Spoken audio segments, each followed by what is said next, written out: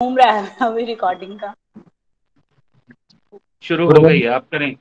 बातचीत शुरू करें।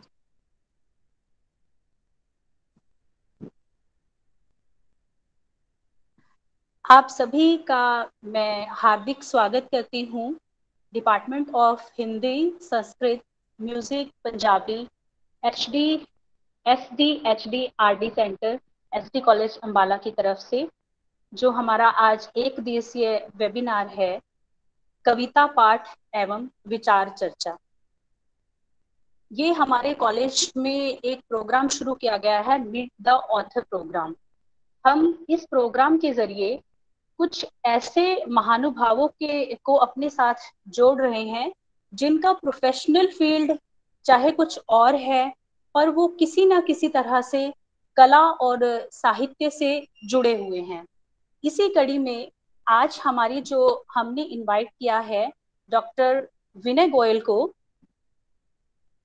डॉक्टर विनय गोयल को जैसा आप सभी जानते हैं कि कंप्यूटर साइंस के प्रोफेसर हैं सर तो ये एक बिल्कुल ही दो विरोधाभास की चीज़ें लगती हैं। और मैं एक चीज़ और कहूँगी जो हमारे मुख्य अतिथि हैं, वे भी साहित्य के इतने बड़े ज्ञाता हैं और डॉक्टर हैं, पेशे से डॉक्टर हैं तो मैं ये कहना चाहूँगी, आज जो हमारे दोनों दिग्गज कलाकार हमारे साथ जुड़े हुए हैं, वे प्रोफेशनली दोनों ही किसी ना किसी तरह से साइंस के विद्यार्थी हैं और साइंस में ही प्रैक्टिस करते हैं और जो उनका शौक है, वो उन्हें यहाँ तक ले आया है कि आज दोनों के नाम को परिचय की ज़रूरत नहीं है। जैसा आप स्क्रीन पर देख रहे हैं, हमारे आज के कार्यक्रम के जो मुख्य अतिथि हैं, डॉक्टर कमलेश कौशिक जी, जिनका तखल्लुस नफस अम्बालवी है, और हम, मैं जो हर बार कहती हूँ कि नफस अम्बालवी के नाम से ही मुझे सर को बुलाना अच्छा लगता है। और सर का जो नाम है, वो मुझे सेकेंडरी लगता है। नफस अम्बालवी सर कहना मुझे बहुत अच्छा लगता है। सर बहुत बहुत स्वागत है आपका।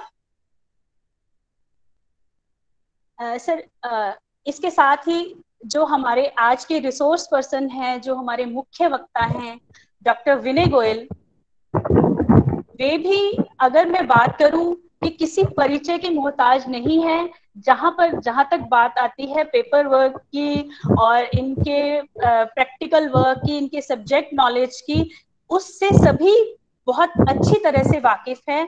पर आ, शायद हम जैसे कुछ लोग सर की इस एक और विशेषता से भी वाकिफ है कि सर की जो साहित्य पे बहुत अच्छी पकड़ है सर का जो कवि हृदय है वो एक सर का जो फ्रेंड सर्कल है उसमें सर बहुत ज़्यादा विख्यात है तो हमने आज सर को रिक्वेस्ट किया कि क्यों ना और लोगों को भी और जो हमारे विद्यार्थी हैं उनको भी इसका लाभ मिले।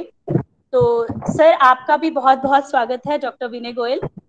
Thank you अगर करियर की मैं बात करूँगी तो सत्रह वर्ष का इनका अनुभव हो चुका है पढ़ाने का विद्यार्थियों का और पर्सनैलिटी डेवलपमेंट पर सर बहुत सारी वर्कशॉप्स लगाते रहते हैं स्टूडेंट्स के लिए भी टीचर्स के लिए भी और 2004 में नोएडा से जो इनका करियर शुरू हुआ और वो अब बदस्तूर जारी है और टीचिंग में सर ने 2005 से टीचिंग शुरू की थी सर ने, उससे पहले आप नोएडा में सॉफ्टवेयर इंजीनियर के रूप में कार्यरत थे। तो आज सर, अब डीएवी अंबाला सिटी में जो है कंप्यूटर प्राध्यापक के पद पर आसीन है और स्टूडेंट्स का मार्गदर्शन कर रहे हैं। सर बहुत बहुत स्वागत है आप दोनों दिग्गजों का। बहुत ज़्यादा समय मैं नहीं लेना चाहूँगी इसमें एक इंट्रोडक्शन में क्योंकि इंट्रोडक्शन की आप दोनों को ही मेरे हिसाब से कोई ज़रूरत नहीं है। ये केवल उनके लिए था जो मेरे विद्यार्थी जो जुड़े हैं जितने हमारे टीचर्स हैं और मेरे सह, सहकर्मी हैं सभी आप दोनों से बहुत भली भांति परिचित हैं। जो ये एक छोटा सा मैंने इंट्रोडक्शन जो दिया है वो आ, केवल मेरे विद्यार्थियों के लिए दिया है। नफस सर आप जो उर्दू के बहुत ही फ़ेमस शायर हैं मैं कहूँगी विश्वविख्यात शायर हैं। और मैं चाहूँगी कि आप भी जब अपना अपना वक्तव्य देंगे तो कुछ थोड़ा मेरे विद्यार्थियों के लिए ज़रूर सर सुनाएँ।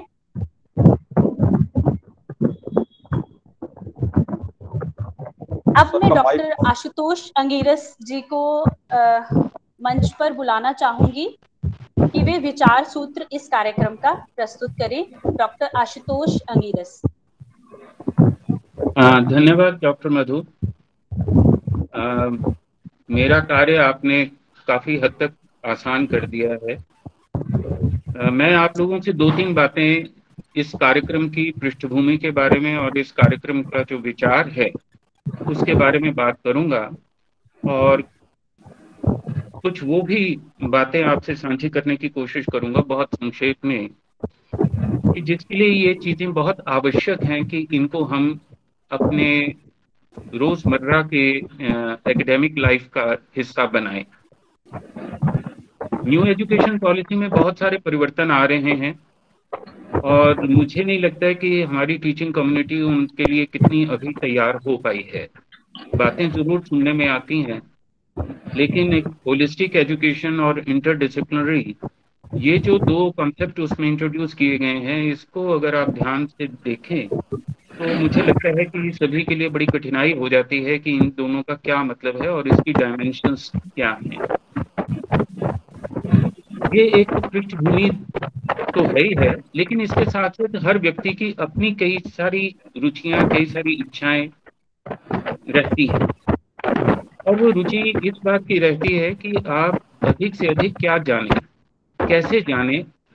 इसलिए हमारा इसमें एक निजी स्वार्थ आज की इस परिचर्चा में रहा है कि ऐसे गुणी लोगों को हम संपर्क करें, उनको आमंत्रित करें, उनके गुणों को समझने की जो क्षमता है हम लोग अपने में विकसित करें। हो सकता है हम कविता ना भी कर पाए, लेकिन कविता के मर्म को समझने का प्रयास कैसे करें? क्या है जो कवि भीतर से महसूस करता है?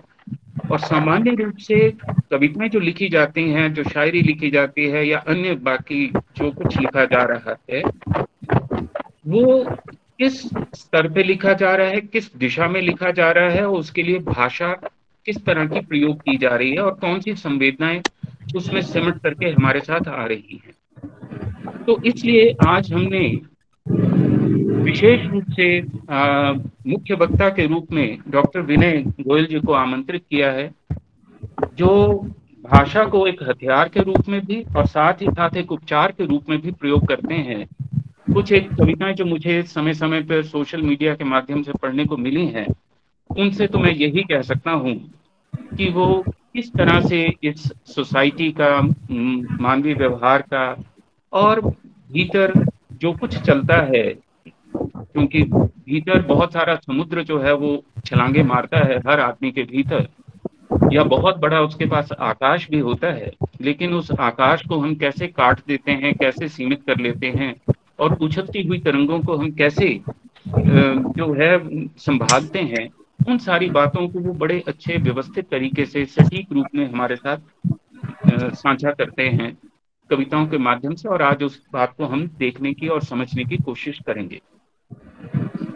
और उनकी कविताओं के पश्चात हम जो भी आप लोगों के सवाल होंगे, प्रश्न होंगे, टिप्पणियाँ होंगी, वो लेंगे। और उसके बाद डॉक्टर नफस अम्बालवी जी, जो स्वयं बहुत सहृदय संवेदनशील और जिनका वर्ल्ड व्यू जो है, वही बहुत व्यापक है। मुझे लगता है कि उसको समझने के लिए भी बहुत संवेदनशीलता की अपेक्षा होगी। लेकिन उनकी टिप्पणी हमने अध्यक्षीय टिप्पणी जो है, अध्यक्षीय वक्तव्य उनका रखा है, ताकि एक क्रिटिकल कमेंट्स उनके आए और हमें ये पता लगे कि मूल्यांकन कैसे होता है, कैसे किसी भी कवि को लिखा जाना चाहिए, समझा जाना चाहिए, और उसमें आगे कौन सी दिशाएँ श्रोताओं के लिए हैं कि जिससे वो उस स्तर पे पहुँचे, जिस स्तर पे कवि होता है। इससे पहले कि मैं डॉक्टर विनय जी को आमंत्रित करूँ अपनी शायरी, अपनी कविता अपनी संवेदनाएँ हमारे साथ साझा करने के लिए एक दो बातें और मैं आप लोगों के साथ साझा करना चाहता हूँ। और विशेष रूप से आ, मैं वो दृष्टिकोण आप लोगों के साथ साझा करना चाहूँगा जिससे मैं डॉक्टर विनय गोयल को एक कवि के रूप में एक मनुष्य के रूप में आ, देखने का प्रयास करना चाहता हूँ और उस दृष्टि से अगर वो अपनी बातें रखें कविताओं के साथ साथ वो अपनी टिप्पणियाँ भी साथ रखें तो बहुत अच्छा रहेगा। सामान्य रूप से क्या होता है कि हर कवि, हर व्यक्ति जो है, उसने कुछ एक विशेष प्रकार से चीज़ों को देखा होता है और कुछ विशेष प्रकार से सुना होता है। जिसे हम श्रुतम और दृष्टम कहते हैं कि एक सुनना होता है और एक देखना होता है। लेकिन एक एंगल उसमें पर्टिकुलर ज़रूर हर किसी का होता है। जितने लोग मिलेंगे, हर एक का अपना अपना कोई ना कोई एंगल होता है। उस एंगल के बीच में उसको जो ज्ञान होता है, वो भी एक पर्टिकुलर पर्सपेक्टिव से, एक पर्टिकुलर एंगल से ही उसका वो ज्ञान होता है। तो निश्चित रूप से आज उनकी कविताओं के माध्यम से हम ये तो देखने के देखने का प्रयास करेंगे ही कि डॉक्टर विनय गोयल ने किस तरह से इस संसार को, मानवीय व्यवहारों को, संबंधों को समाज को और जितनी भी बातें हैं, उनको किस दृष्टि से देखा है और कैसे उन्होंने सुना है और फिर कैसे उन्होंने जाना और उस जाने हुए को कैसे उन्होंने अभिव्यक्त किया है। इसके साथ साथ एक पक्ष और है जो मैं चाहूँगा कि जब वो डॉक्टर विनय अपनी बात रखें हमारे साथ तो वो इस दृष्टि से भी बात रखें कि ऐसे नोअर को चलो मैंने बात कर ही दी, लेकिन उसके साथ साथ जब कवि एक इंजॉय भी होता है क्योंकि उसके जीवन में बहुत सारे जो आ, बहुत सारी सामग्री बहुत सारे अनुभव इस तरह के हैं जिन्हें उसे भोक्ता के रूप में उसे स्वीकार करना पड़ता है। इंजॉयर क्योंकि अंग्रेज़ी की एक सीमा होती है इसलिए भोक्ता शब्द के लिए इंजॉयर कर दिया है हालाँकि उसमें दुख सुख दोनों ही शामिल हैं। तो इंजॉयर का मतलब प्लेयर के साथ मत जोड़िएगा। इंजॉयर का मतलब है कि दुख सुख का जो भोगता है। तो इस एंगल से भी कवि के रूप में, मनुष्य के रूप में उनका दृष्टिकोण क्या रहा है कि कैसे वो इस सारे बातों को अपनी कविता में उजागर करते रहे हैं, प्रकट करते रहे और तीसरा जो एक और पक्ष जो मैं चाहता हूँ, और उसके बाद फिर हम आमंत्रित करते हैं उनको, कि हर कवि जो है वो डुअर भी होता है, कर्ता भी होता है। हर मनुष्य, हर कवि जो है वो एक डुअर की फॉर्म में भी होता है। जब वो कर्ता के रूप में होता है, तब वो कैसे इन सारी बातों को अपने आसपास को देखता है, अपनी प्रकृति को, अपने स्वभाव को, इन सबको वो कैसे देखता है? तो देखने का दृष्टिकोण पर्सपेक्टिव और as a doer as a knower and as an enjoyer ये सारी दृष्टिकोणों को ध्यान में रख करके हम सभी श्रोता डॉक्टर विनय गोयल जी की बात को हम सुनेंगे उनकी कविताओं को उन कविताओं के बारे में वो स्वयं भी कुछ टिप्पणी करेंगे और उसके बाद हम लोग जो भी सवाल जवाब होंगे प्रश्न होंगे उनको लेंगे और फिर उसके बाद डॉक्टर नफस जी को। और डॉक्टर नफस जी से भी मेरा ये निवेदन रहेगा कि ये कुछ पक्ष जो मैंने रखे हैं इसमें इसके ऊपर ज़रूर वो अपनी टिप्पणी और अपना जो है वो इसके ऊपर व्याख्या ज़रूर दें। और फिर बीच में जहाँ कहीं संभव होगा तो मैं एक दो बातें और भी बीच में आप लोगों के साथ साझा करूँगा। तो मैं आमंत्रित कर रहा हूँ आज के मुख्य वक्ता डॉक्टर विनय गोयल जी को कि वो अपने इस कंप्यूटर में जहाँ बिल्कुल संगणकीयता रहती है बिल्कुल प्रिसीजन रहता है वहाँ पर इन संवेदनाओं को उन्होंने कैसे संभाला है कैसे अभिव्यक्त किया है कैसे विस्तार दिया है उसके लिए मैं उनको आमंत्रित हूँ। डॉक्टर विनय गोयल। शुक्रिया आशुतोष जी मेरी आवाज़ मुझे लगता है क्लियर है सबको? जी जी जी बिल्कुल क्लियर है। आप तो अपना वीडियो भी सर ऑन कर लें तो ज़्यादा बेहतर रहेगा। वीडियो सर ऑन है मेरा देखिए ऑन है सर उनका वीडियो। ऑन है सर। ठीक ओके ओके बल्कि मेरा कंप्यूटर जो है ना वो नज़र आ रहा है। मेरा कंप्यूटर थोड़ा गड़बड़ है। ठीक है प्लीज़ कैरी ऑन सभी को सलाम नमस्ते और गुड मॉर्निंग। सबसे पहले तो मैं इस्तकबाल करना चाहता हूँ। आज के हमारे मुख्य अतिथि डॉक्टर कमलेश कौशिक जी का, जिन्हें हम प्यार से नफस अम्बालवी जी के नाम से भी जानते हैं। हमारे अम्बाला की शान है और अब अम्बाला की नहीं, अब तो पूरे संसार की शान है। मैं साथ ही साथ इस गुस्ताखी के लिए नफस अम्बालवी जी से माफ़ी भी मांगना चाहूँगा। कि मेरी फ़ोटो और आपकी फ़ोटो को समकक्ष लगाया गया है जो कि नाजायज है ऐसा नहीं होना चाहिए था। क्योंकि जिस जिस मुकाम पे आप हैं सर हम वहाँ से सिर्फ़ देख ही सकते हैं नीचे से इतनी ऊपर आप हैं। तो फिर भी ये जो एच डी कॉलेज ने आदर दिया है इसको मैं आदर ही मानूँगा कि आप जैसे एक बड़े दिग्गज के साथ कम से कम मेरी फ़ोटो शेयर करने का मुझे जो है दिखाया इन्होंने। इसके लिए एस डी कॉलेज वालों का धन्यवाद और मेरी तरफ़ से गुस्ताखी। बहुत जर्रा नवाजी है आपकी। शुक्रिया करना चाहूँगा डॉक्टर रविंदर सिंह राणा जी का प्रिंसिपल साहिबान एस डी कॉलेज माला कैंट के, जिन्होंने इस प्रोग्राम को ऑर्गेनाइज करने का मौका दिया। मेरे बड़े भाई प्रोफेसर आशुतोष जी और मेरे अज़ीज़ मेरे colleague doctor Madhu ji, doctor Vijay Sharma ji, doctor Saryu Sharma ji और डॉक्टर लीना जी, जिन्होंने इस प्रोग्राम को संचालित करने का काम किया है।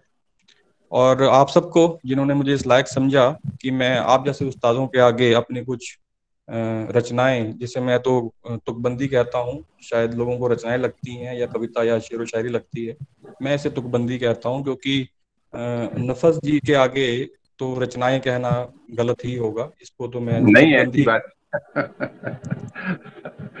ऐसा ना कहें आप आपकी रचनाएँ भी वही रचनाएँ हैं शायर छोटा बड़ा नहीं होता है शायरी ज़रूर थोड़ी लेवल अलग हो सकते हैं मगर शायर कभी छोटे बड़े नहीं होते तो मैं बहुत इस्तकबाल करता हूँ। आपको बहुत मुबारकबाद पेश करता हूँ इसके लिए आज के दिन के लिए। शुक्रिया शुक्रिया तो बड़ा अच्छा लगेगा कि हम आपकी शायरी आज सुन रहे हैं। मैं इससे पहले कभी सुन नहीं पाया हूँ आपको। मुझे बहुत अच्छा लगेगा। जी। बिल्कुल सर। तो आ, मैं अपनी एक छोटी सी रचना पेश कर रहा हूँ। मैं अगेन बताना चाहता हूँ कि मेरा सब्जेक्ट कंप्यूटर साइंस है तो आ, मेरे शब्दों को मेरे लफ्ज़ों को कृपया सहन कीजिएगा क्योंकि जितना का मुझे आता है उतना का मैं लिख पाता हूँ। तो अर्ज़ कुछ इस तरह किया है वो जो दिखाती है दुनिया सबको वो जो दिखाती है दुनिया सबको वो शह मुझे क्यों नज़र नहीं आती? वो जो दिखाती है दुनिया सबको वो शह मुझे क्यों नज़र नहीं आती? या तो मैं दुनिया को समझ में नहीं आता या दुनिया मुझे समझ में नहीं आती। या तो मैं दुनिया को समझ में नहीं आता या दुनिया मुझे समझ में नहीं आती। लगाते होंगे कुछ खफीफ सितारे लगाते होंगे कुछ खफीफ सितारे चक्कर खुर्शीद आलम के। लगाते होंगे कुछ खफीफ सितारे चक्कर खुर्शीद आलम के। हम तो बूंद की तरह हैं समंदर में। ये सितारों की चाल हमें नहीं आती। या तो मैं दुनिया को समझ में नहीं आता या दुनिया मुझे समझ में नहीं आती। बहुत बढ़िया।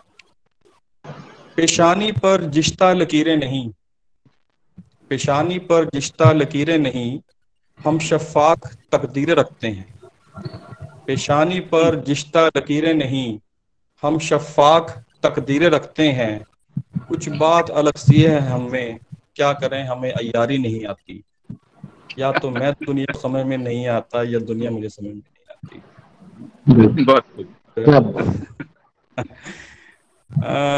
लौट जाओ जिंदगानी की तरफ़। लौट जाओ जिंदगानी की तरफ़ कि ये चीज़ नायाब है बहुत। लौट जाओ जिंदगानी की तरफ़ कि ये चीज़ नायाब है बहुत। ज़िंदा रह के जीना ज़रूरी है विनय। ज़िंदा रह के जीना ज़रूरी है विनय। ये मौत आती है जब तो ऐसे ही नहीं आती। या तो मैं दुनिया को समझ में नहीं आता या दुनिया मुझे समझ में बहुत। शुक्रिया शुक्रिया। बहुत बढ़िया। तो।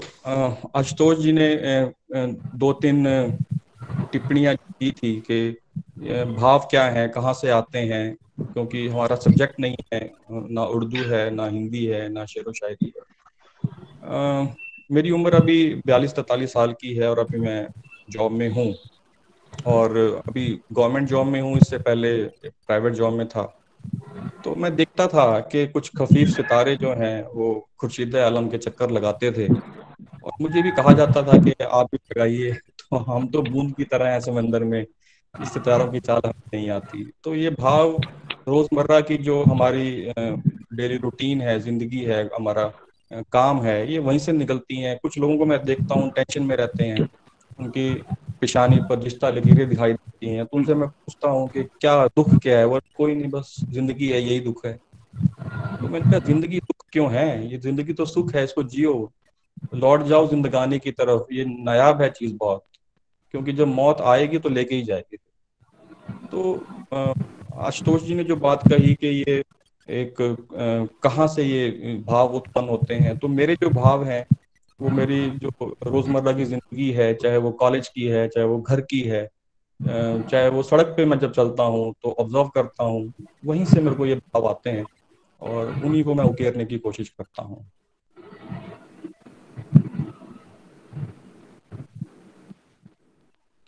तो इसी तरह से मैंने कुछ और भी लिखा था।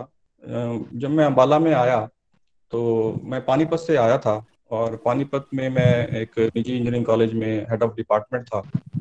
तो वहाँ का खुर्शीद आलम मैं था और कुछ सितारे जो थे वो मेरे आगे पीछे चक्कर लगाते थे।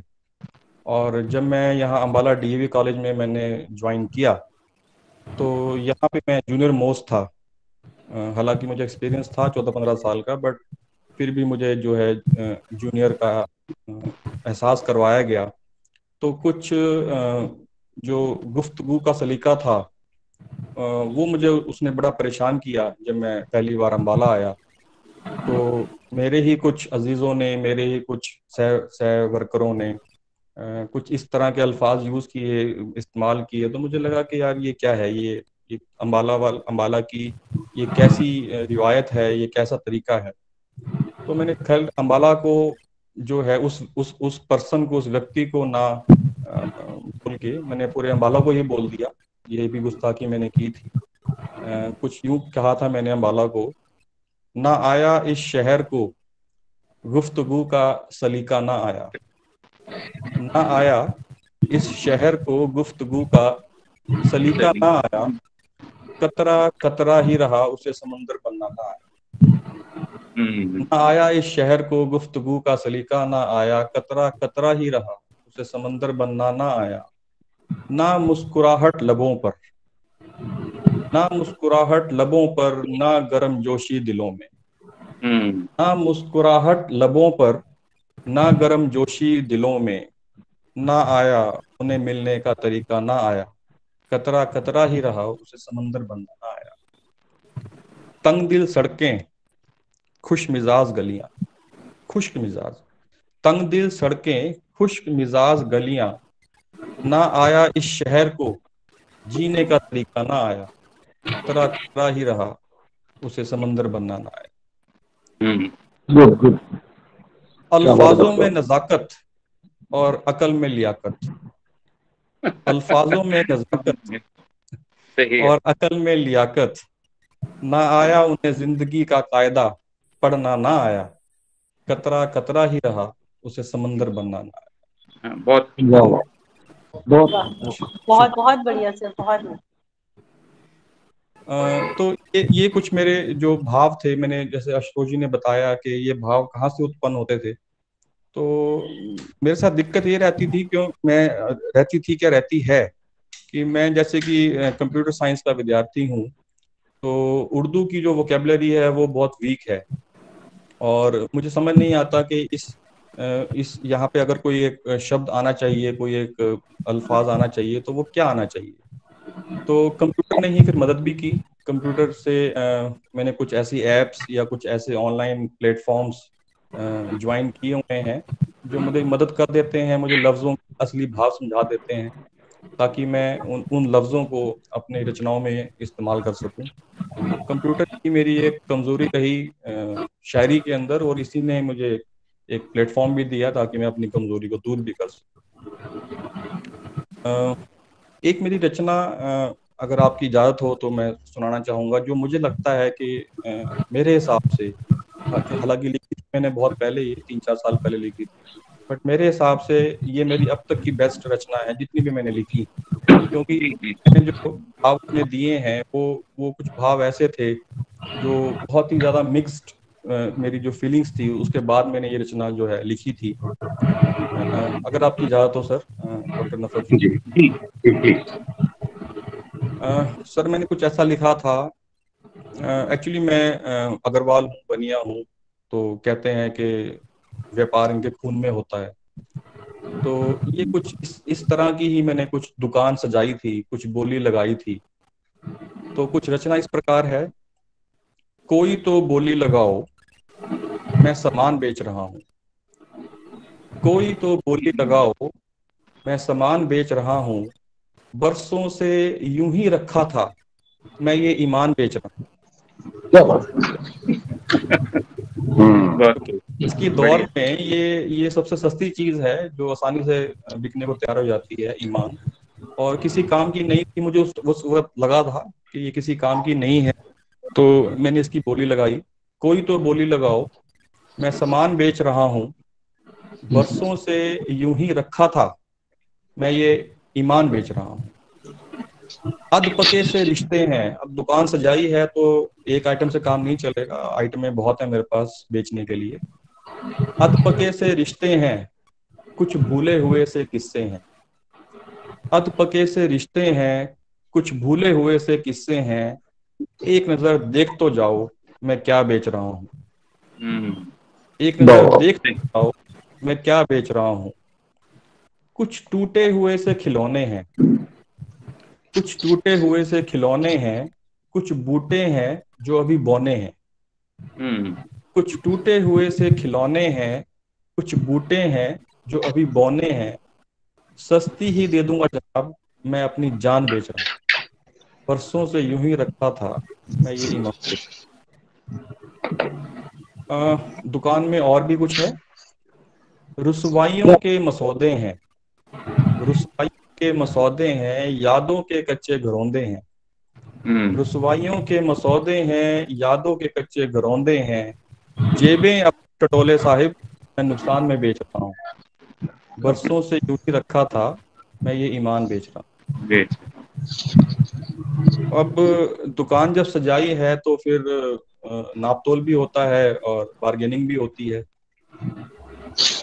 चलो मेरी ना सही तो तेरी ही सही। चलो मेरी ना सही तो तेरी ही सही पर कुछ तो रकम बढ़ाओ मैं पूरी दुकान बेच रहा हूँ। चलो मेरी ना सही तो तेरी ही सही पर कुछ तो रकम बढ़ाओ मैं पूरी दुकान बेच रहा हूँ। दिल के साथ ये दर्द भी मुफ़्त दे दूँगा। दिल के साथ ये दर्द भी मुफ़्त में दे दूँगा। सौदा बुरा नहीं है बाबू, मैं ज़ुबान बेच रहा हूँ। दिल के साथ ये दर्द भी मुफ़्त में दे दूँगा। सौदा बुरा नहीं है बाबू, मैं ज़ुबान बेच रहा हूँ। खुदा ले लो, खुदा की खुदाई ले लो। खुदा ले लो, खुदा की खुदाई ले लो। शाम हो चुकी है, मैं अजान बेच रहा हूँ। बरसों से यूँ ही रखा था, मैं ये ईमान बेच रहा हूँ। और इसका जो लास्ट मेरा कपलेट है, मत्ता है, वो है, खंडर हो चुके इस शहर में, खंडर हो चुके इस शहर में, मैं हर जज्बात बेच रहा हूँ। खंडर हो चुके इस शहर में, मैं हर जज्बात बेच रहा हूँ। जहाँ रहती थी मेरी माँ जहाँ रहती थी मेरी माँ मैं वो मकान भी बेच रहा हूँ। बरसों से यूँ ही रखा था मैं ये ईमान बेच बहुत शुक्रिया। बहुत खूब बहुत खूब। क्या बात है डॉक्टर साहब।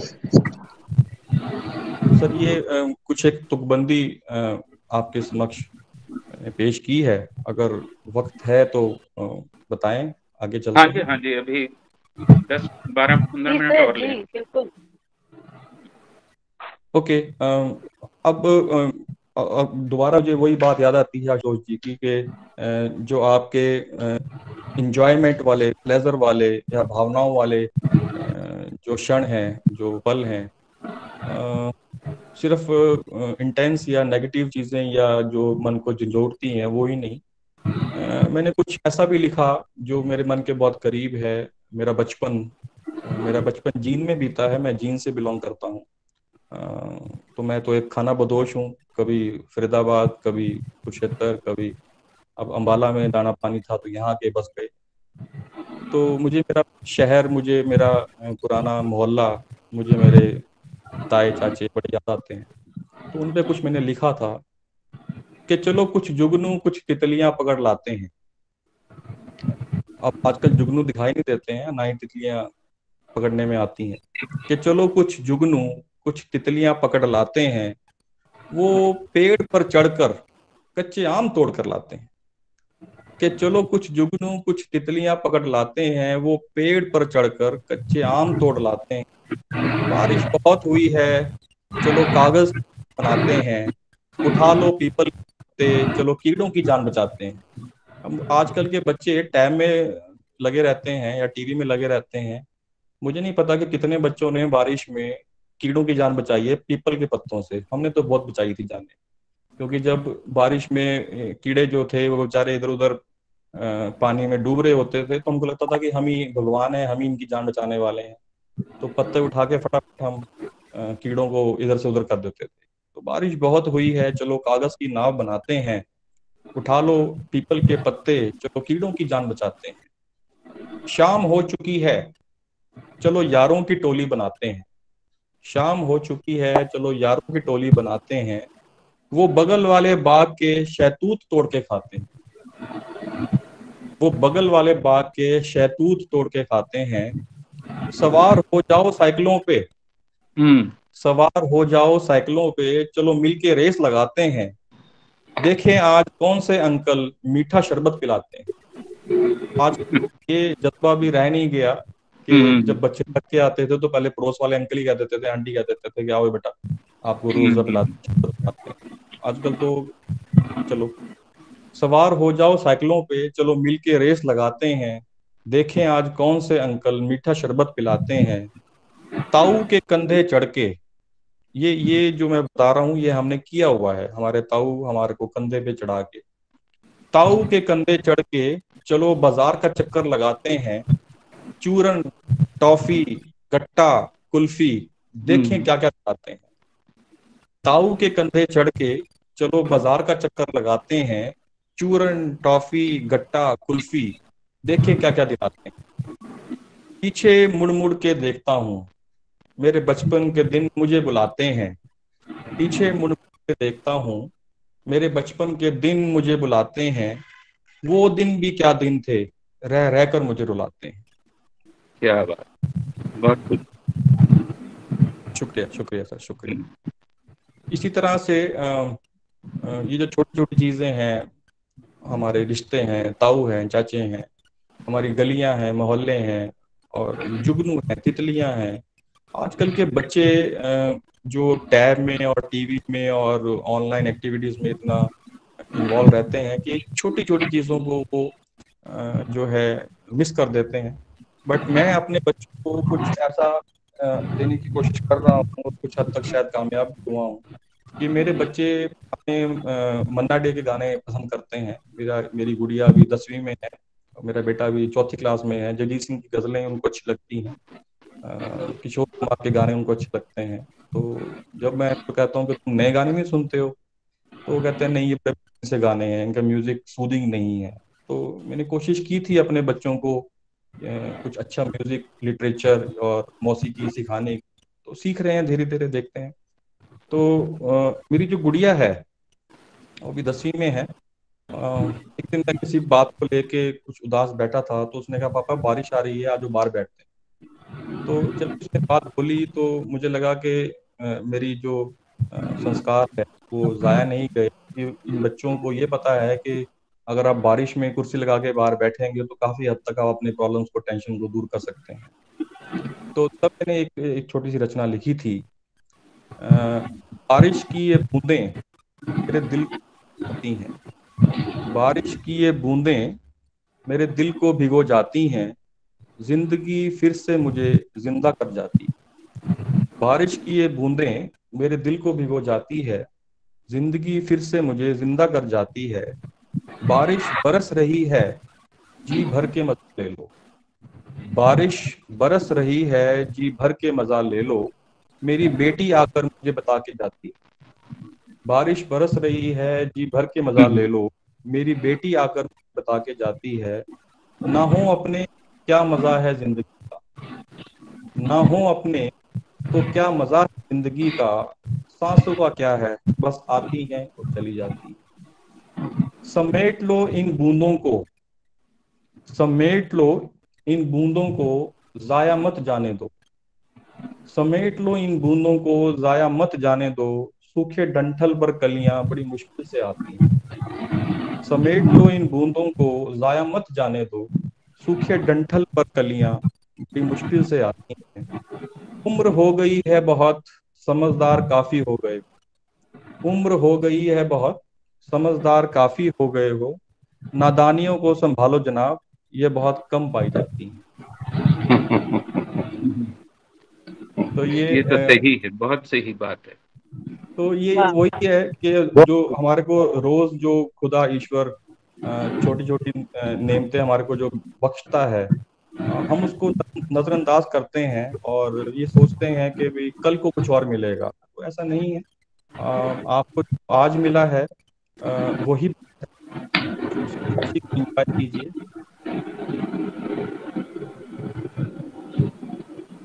मधु मैम टाइम है अभी हमारे पास? जी सर आप एक एक रचना और सुना सकते हैं हमें। ठीक है जी। तो क्या क्या क्या सुनाना चाहेंगे? क्या क्या सुनना चाहेंगे?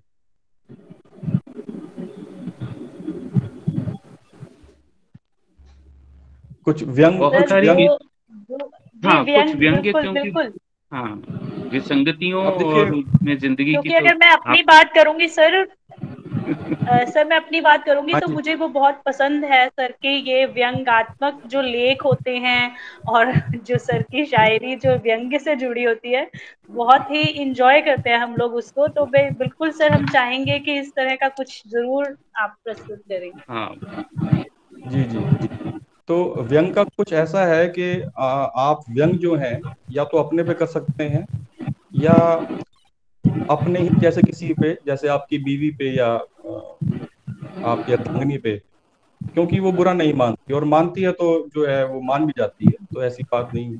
तो आ, अब बीवी है तो आ, आपके पास फिर आ, आपके सास ससुर भी हैं आपके रिश्तेदारियों भी हैं तो अगर आपको ससुराल ऐसा मिला हो कि वो भी बुरा ना माने तो अच्छी बात है। तो मैंने आ, मेरे जो ससुराल हैं वो आ, पलवल के हैं। ब्रिज ब्रिज भूमि पड़ती है पलवल। तो पलवल से होटल है और होटल से आगे मथुरा वृंदावन है। तो कुछ उन पे लिखा था कुछ व्यंगात्मक तरीके से लिखा था। एक बार लूँ क्योंकि मुझे मुझे इल्म नहीं था कि आप वो चीज़ भी मुझे बोलने के लिए बोल सकते हैं। जरा एक मिनट मुझे देंगे ताकि मैं ढूंढ लूँ तो मुझे अपनी लेखनियाँ याद नहीं रहती इसलिए मुझे ढूंढना पड़ेगा। हाँ जी जी। तो कुछ व्यंग में लिखा था जिसमें मेरे ससुराल वाले और मेरी बेटर हाफ़ मेरी शरीक हयात भी शामिल मैंने लिखा था, क्या गजब का ससुराल मिलो है? क्या गजब का ससुराल मिलो है? ससुर हम निवाला, हम प्याला है। मेरे जो ससुर हैं वो रिटायर्ड प्रिंसिपल हैं गवर्नमेंट कॉलेज होडल्स तो क्या गजब का ससुराल मिलो है? ससुर हम निवाला, हम प्याला है। थर्टी एमएल उधर गया है, सिक्सटी इधर आने वाला है। क्या गजब का ससुराल मिलो है? ससुर हम निवाला हम प्याला है। थर्टी एम उधर गया है सिक्सटी इधर आने वाला। साला चिट्टा पनीर खिलावे। देखिए जब आप बैठते हैं ससुर जी के साथ तो साला की सेवा करता ही है। तो साली की जो तो सेवा है वो चिट्टे पनीर से होती है। साला चिट्टा पनीर खिलावे क्या गजब नींबू निचोड़ डाला है। जरा हम्म। सोडे पर नज़र तो डालो एक्स्ट्रा बुलबुलो वाला है।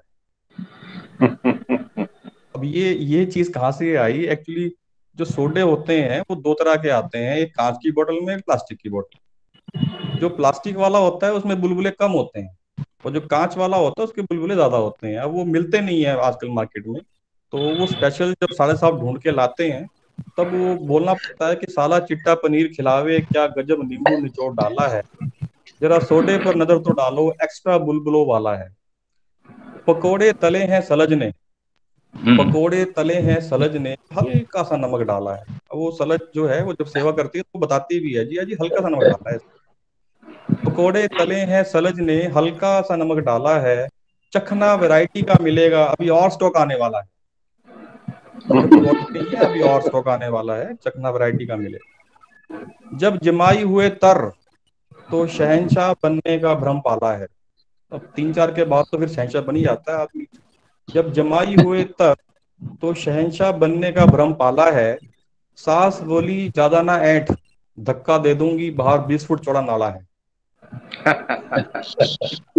सास बोली, ज़्यादा ना ऐठ, धक्का दे दूँगी, बाहर बीस फुट चौड़ा नाला है। नशे में हाथ में झाड़ू पकड़ा दिया। नशे में हाथ में झाड़ू पकड़ा दिया। बोली, लग जा कहाँ पे जमाई साहब? दिवाली आने वाली है और घर में हर तरफ़ जाला है। बेबस निर्मल झाड़ू पड़े, जब शहनशाह ने घरवाली को ताका। बेबस निर्मल झाड़ू पड़े, जब शहनशाह ने घरवाली को ताका। निर्ममता से वो बोली, अब पता चला ना किससे बड़ा पाला है? सिक्सटी सिक्सटी के दो लगे थे। सिक्सटी सिक्सटी के दो लगे थे, अब सब उतरने वाला है। भाई ब्रिजवासियों की नगरी है और कंस का बोलबाला है। क्या गजब का ससुराल मिलो है ससुर हम निवाला हम प्याला। शुक्रिया। खूब। जी। तो बहुत मैं- खूब, डॉक्टर मेरे मेरे ख्याल से अ, हमारे पास समय मुझे दिया गया तो आगे की कार्रवाई मैडम। जी। जी बहुत बहुत बहुत धन्यवाद सर। हम आपकी जो पोएट्री थी, आपकी रचनाएँ सुनकर हम हर तरह के भाव से अपने आप को लिप्त पा रहे थे। बचपन की यादों में खो गए, प्रकृति के साथ पहुँच गए और आज के जमाने की पार्टी के बारे में भी सुन लिया आपके मुँह से। तो मैं डॉक्टर नफस अम्बालवी जी को अब आमंत्रित करना चाहूँगी। मैडम नहीं मैम उससे पहले कुछ जो उन लोगों ने सुना है जो महसूस किया है मुझे लगता है कि उनकी टिप्पणियाँ ज़रूर ले लेनी चाहिए ताकि नफस जी उन सबके ऊपर बात कर सकें। और ये मैं आप लोगों से साझा करना चाहूँगा कि ये कार्यक्रम सिर्फ़ इसीलिए नहीं है कि हम केवल सुन के चले जाएँ। अपना जो एक तरह की सेंसिटाइजेशन जो है उसको करना उसको उसके लिए अपने को तैयार करना सेंसिटिविटी के लिए अपने को तैयार करना ये उसके लिए भी ये कार्यक्रम है। तो इसीलिए जैसे मैंने शुरू में कहा था कि इसमें अपना स्वार्थ है। अब ये है कि उस स्वार्थ का स्तर क्या है और विस्तार कितना है ये उस पर निर्भर करता है। तो यदि आप में से क्योंकि मैं जानता हूँ कई बहुत संवेदनशील लोग हमारे साथ जुड़े हुए हैं एक मैडम को तो मैंने बहुत दिनों बाद देखा, उनकी भी शायरी पे बहुत अच्छी पकड़ है।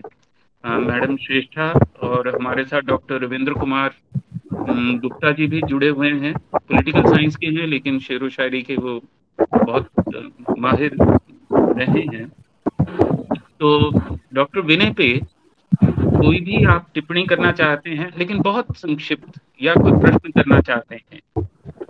क्योंकि इंटरेक्शन जब तक नहीं होगा तो बात बनती नहीं। मुझे लगता है कि हम पूरी तरह सम्मानित नहीं कर पाए आज के वक्ता को। तो यदि कोई टिप्पणी करना चाहे या कोई अपनी राय देना चाहे तो स्वागत। है नहीं तो फिर हम डॉक्टर संगीत विभाग से संगीत विभाग से श्री हेम भारद्वाज जी कुछ कहना चाहते हैं।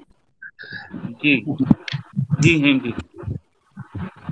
जी डॉक्टर कमाल बहुत डॉक्टर विनय कमाल आपका आप तो मैं समझ नहीं पा रहा हूँ कि आप कंप्यूटर के मास्टर हैं या मतलब साहित्य के। शुक्रिया सर हाँ, शुक्रिया। कमाल बहुत बहुत मज़ा आया। और मैं आपसे कभी मिला नहीं हूँ। डॉक्टर मधु पे तो कई बार जाता रहता हूँ कभी आपसे मुलाकात की और डॉक्टर नफा साहब वाली मेरे को बहुत अच्छी तरह जानते हैं और से जुड़ा हुआ हूँ।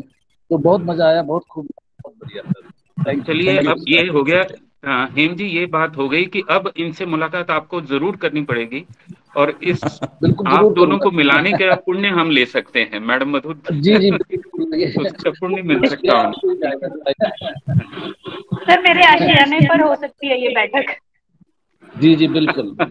जी और किसी की कोई टिप्पणी बहुत संक्षेप में और बड़ी हाँ डॉक्टर साहब आपके बारे में बहुत बात होती रहती है कॉल में भी और जब घर पे भी जाता हूँ मैं कई बार मेरी रिकॉर्डिंग भी होती रहती है डॉक्टर साहब डॉक्टर अभी जो है रिकॉर्डिंग भी करते रहते हैं बहुत सारी गजलें चल रही है अभी। तो आपके बारे में खूब बात होती है। रूबरू नहीं हुई कभी लेकिन बहुत मज़ा आया आज पहली बार आपसे जो है वेबिनार में ऐसे शुक्रिया। हैं तो क्या बात है बहुत मज़ा आया। थैंक यू डॉक्टर साहब। चलिए मुझे लगता है और अभी कोई किसी की कोई टिप्पणी नहीं है लेकिन आप सभी ने ये देखा कि doctor Vinay Goyal as a knower as an enjoyer और एज ए डूअर उनके तीनों एस्पेक्ट आप लोगों के सामने आए उनकी कविताओं के माध्यम से उनकी रचनाओं के माध्यम से। उनकी शब्दावली के चुनाव से आप समझ सकते हैं उन शब्दावलियों के जो सिलसिला उन्होंने बांधा है और जिन विचारों और भावों को वो उन्होंने मिश्रण किया है वो सब आप लोगों ने देखा है महसूस किया है और निश्चित रूप से मुझे लगता है कि इस सबने आपको बहुत एनरिच भी किया होगा कि इस तरह से भी ज़िंदगी को देखा जा सकता है। और कवि का जो वर्ल्ड व्यू है और जो उसकी व्यक्तिगत देखने की अपनी लिमिटेशन होती हैं क्योंकि हर आदमी के limitation of knowledge limitation of attachment ये सब रहता है। लेकिन उस सब के बीच में भी अपने को जीवित रखना अपनी संवेदनाओं को बचाए रखना उसके लिए तो वाकई प्रशंसा के पात्र हैं। तो मुझे लगता है कि और अभी किसी की टिप्पणी नहीं है तो अध्यक्षीय वक्तव्य के लिए। और मैं चाहूँगा कि डॉक्टर साहब बिल्कुल क्रिटिकल जी, रविंद्र, डॉक्टर रविंद्र कुमार गुप्ता जी और उसके बाद डॉक्टर नफस जी। धन्यवाद आशुतोष जी। सर, मेरे एक बहुत ही संक्षिप्त जिज्ञासा है। कविता में और फ़िल्मों में जो गाने प्रयोग किए जाते हैं, इनमें क्या अंतर करते हैं आप? मुझे लगता है ये प्रश्न जो है, हम डॉक्टर साहब की तरफ़ उछाल देंगे, डॉक्टर नफस जी की तरफ़। बाकी उस पर हम बात, बाद में कर लेंगे। तो डॉक्टर नफस जी, सर, आपके क्रिटिकल व्यूज़ मैं विशेष रूप से क्रिटिकल की इसलिए तवज्जो रखता हूँ आपसे, तवक्को रखता हूँ। क्योंकि डॉक्टर विनय गोयल जो हैं, वो बहुत ओपन माइंडेड ओपन हार्टेड हैं इस मामले में ओपन हार्ट हैं। उनका दिल बहुत खुला है और अपना जो क्रिटिसिज्म क्योंकि क्रिटिसिज्म को लोग बहुत नकारात्मक रूप से देखते हैं, जबकि उसका मतलब आलोचनात्मक, नकारात्मक नहीं है वो। विश्लेषण है एक तरह का, समझ है। तो आप जानते ही हैं तो मैं चाहूँगा कि आप बेबाक अपनी राय अपना हमारे साथ, सबके साथ साझा करें। सर। जी। बहुत बहुत शुक्रिया आशुतोष जी आपका। और मैं आप तमाम हजरात का जो भी यहाँ मौजूद हैं डॉक्टर विनय गोयल सर, आज आप यहाँ मेहमान शायर हैं तो मैं आपको सबसे पहले तो बहुत बहुत मुबारकबाद पेश करता हूँ। शुक्रिया शुक्रिया। आपने हम सबको अपनी बड़ी खूबसूरत और दिल की गहराइयों से आपने जो भी लिखा जो भी लिखा आपने तो अपना सर्वस्व दिया। अब उसको कोई क्रिटिस क्रिटिसिज्म में डालें उसकी तारीफ़ करें उसका कुछ भी करें वो अपनी जगह है। मगर आपकी नीयत जो थी वो समस्त देने की थी मैं उसको आपको सलाम करता हूँ। शुक्रिया शुक्रिया sir. Doctor Vijay Sharma ji doctor Madhu ji doctor Saryu ji doctor Reena ji और मेरे बहुत अच्छे प्यारे से दोस्त हैं भारद्वाज मुझे हमेशा ही आपके दरमियान आकर बहुत अच्छा लगता है। अ, लेकिन आशुतोष जी जिस तरह से आलोचना पर ज़ोर दे रहे हैं मुझे लगता है कि वो ज़रूर, आपको दुश्मन पालने की ज़रूरत नहीं है, आशुतोष जी काफ़ी है विनय जी आपके लिए। देखिए, मैं ये कहता हूँ कि ठीक है, आशुतोष जी तो बहुत विद्वान आदमी हैं। मेरे बहुत बहुत ही प्रिय मित्र भी हैं। मुझे अच्छी बात ये लगती है कि वो इतने साफ़ दिल से कोई बात कहते हैं। उसके पीछे जो नीयत है वो बहुत अच्छी होती है। तो इस आलोचना में भी उनकी नीयत बहुत अच्छी है कि वो ज़रूर ये समझना चाहते हैं कि कविता को किस तरह से तोला जाए। हम उसे कैसे परखें। चाहे नफस अम्बालवी की शायरी है, या विनय की है, या हम किसी और मुनफाना की, या बशीर वध साहब की, या गालिब की, या मीर की, मोमिन की हम किसी की भी शायरी लें आलोचना जब होती है तो वो बहुत काबिल तारीफ़ और बहुत ही एहतराम की बात होती है। वो बड़ी इज़्ज़त की बात होती है। अगर उसकी सही तरह से आलोचना की जाए कि हाँ इसमें ये कमी है। यानी कि जो आपकी रचनाएँ हैं, वो इस लायक हैं कि कोई उस पर एक तरह की अपनी टिप्पणी देना पसंद करता है। तो आलोचनाएँ सभी की हुई हैं, आलोचना कभी भी गलत होती ही नहीं, साहित्यिक आलोचना, जो लोग साहित्य से जुड़े हुए हैं, वो ये बातें अच्छे से समझते हैं। अब रही बात कि शायरी में मुझे एक शेर याद आता है कि गज़ल में बंदिशें, अल्फाज ही नहीं सब कुछ।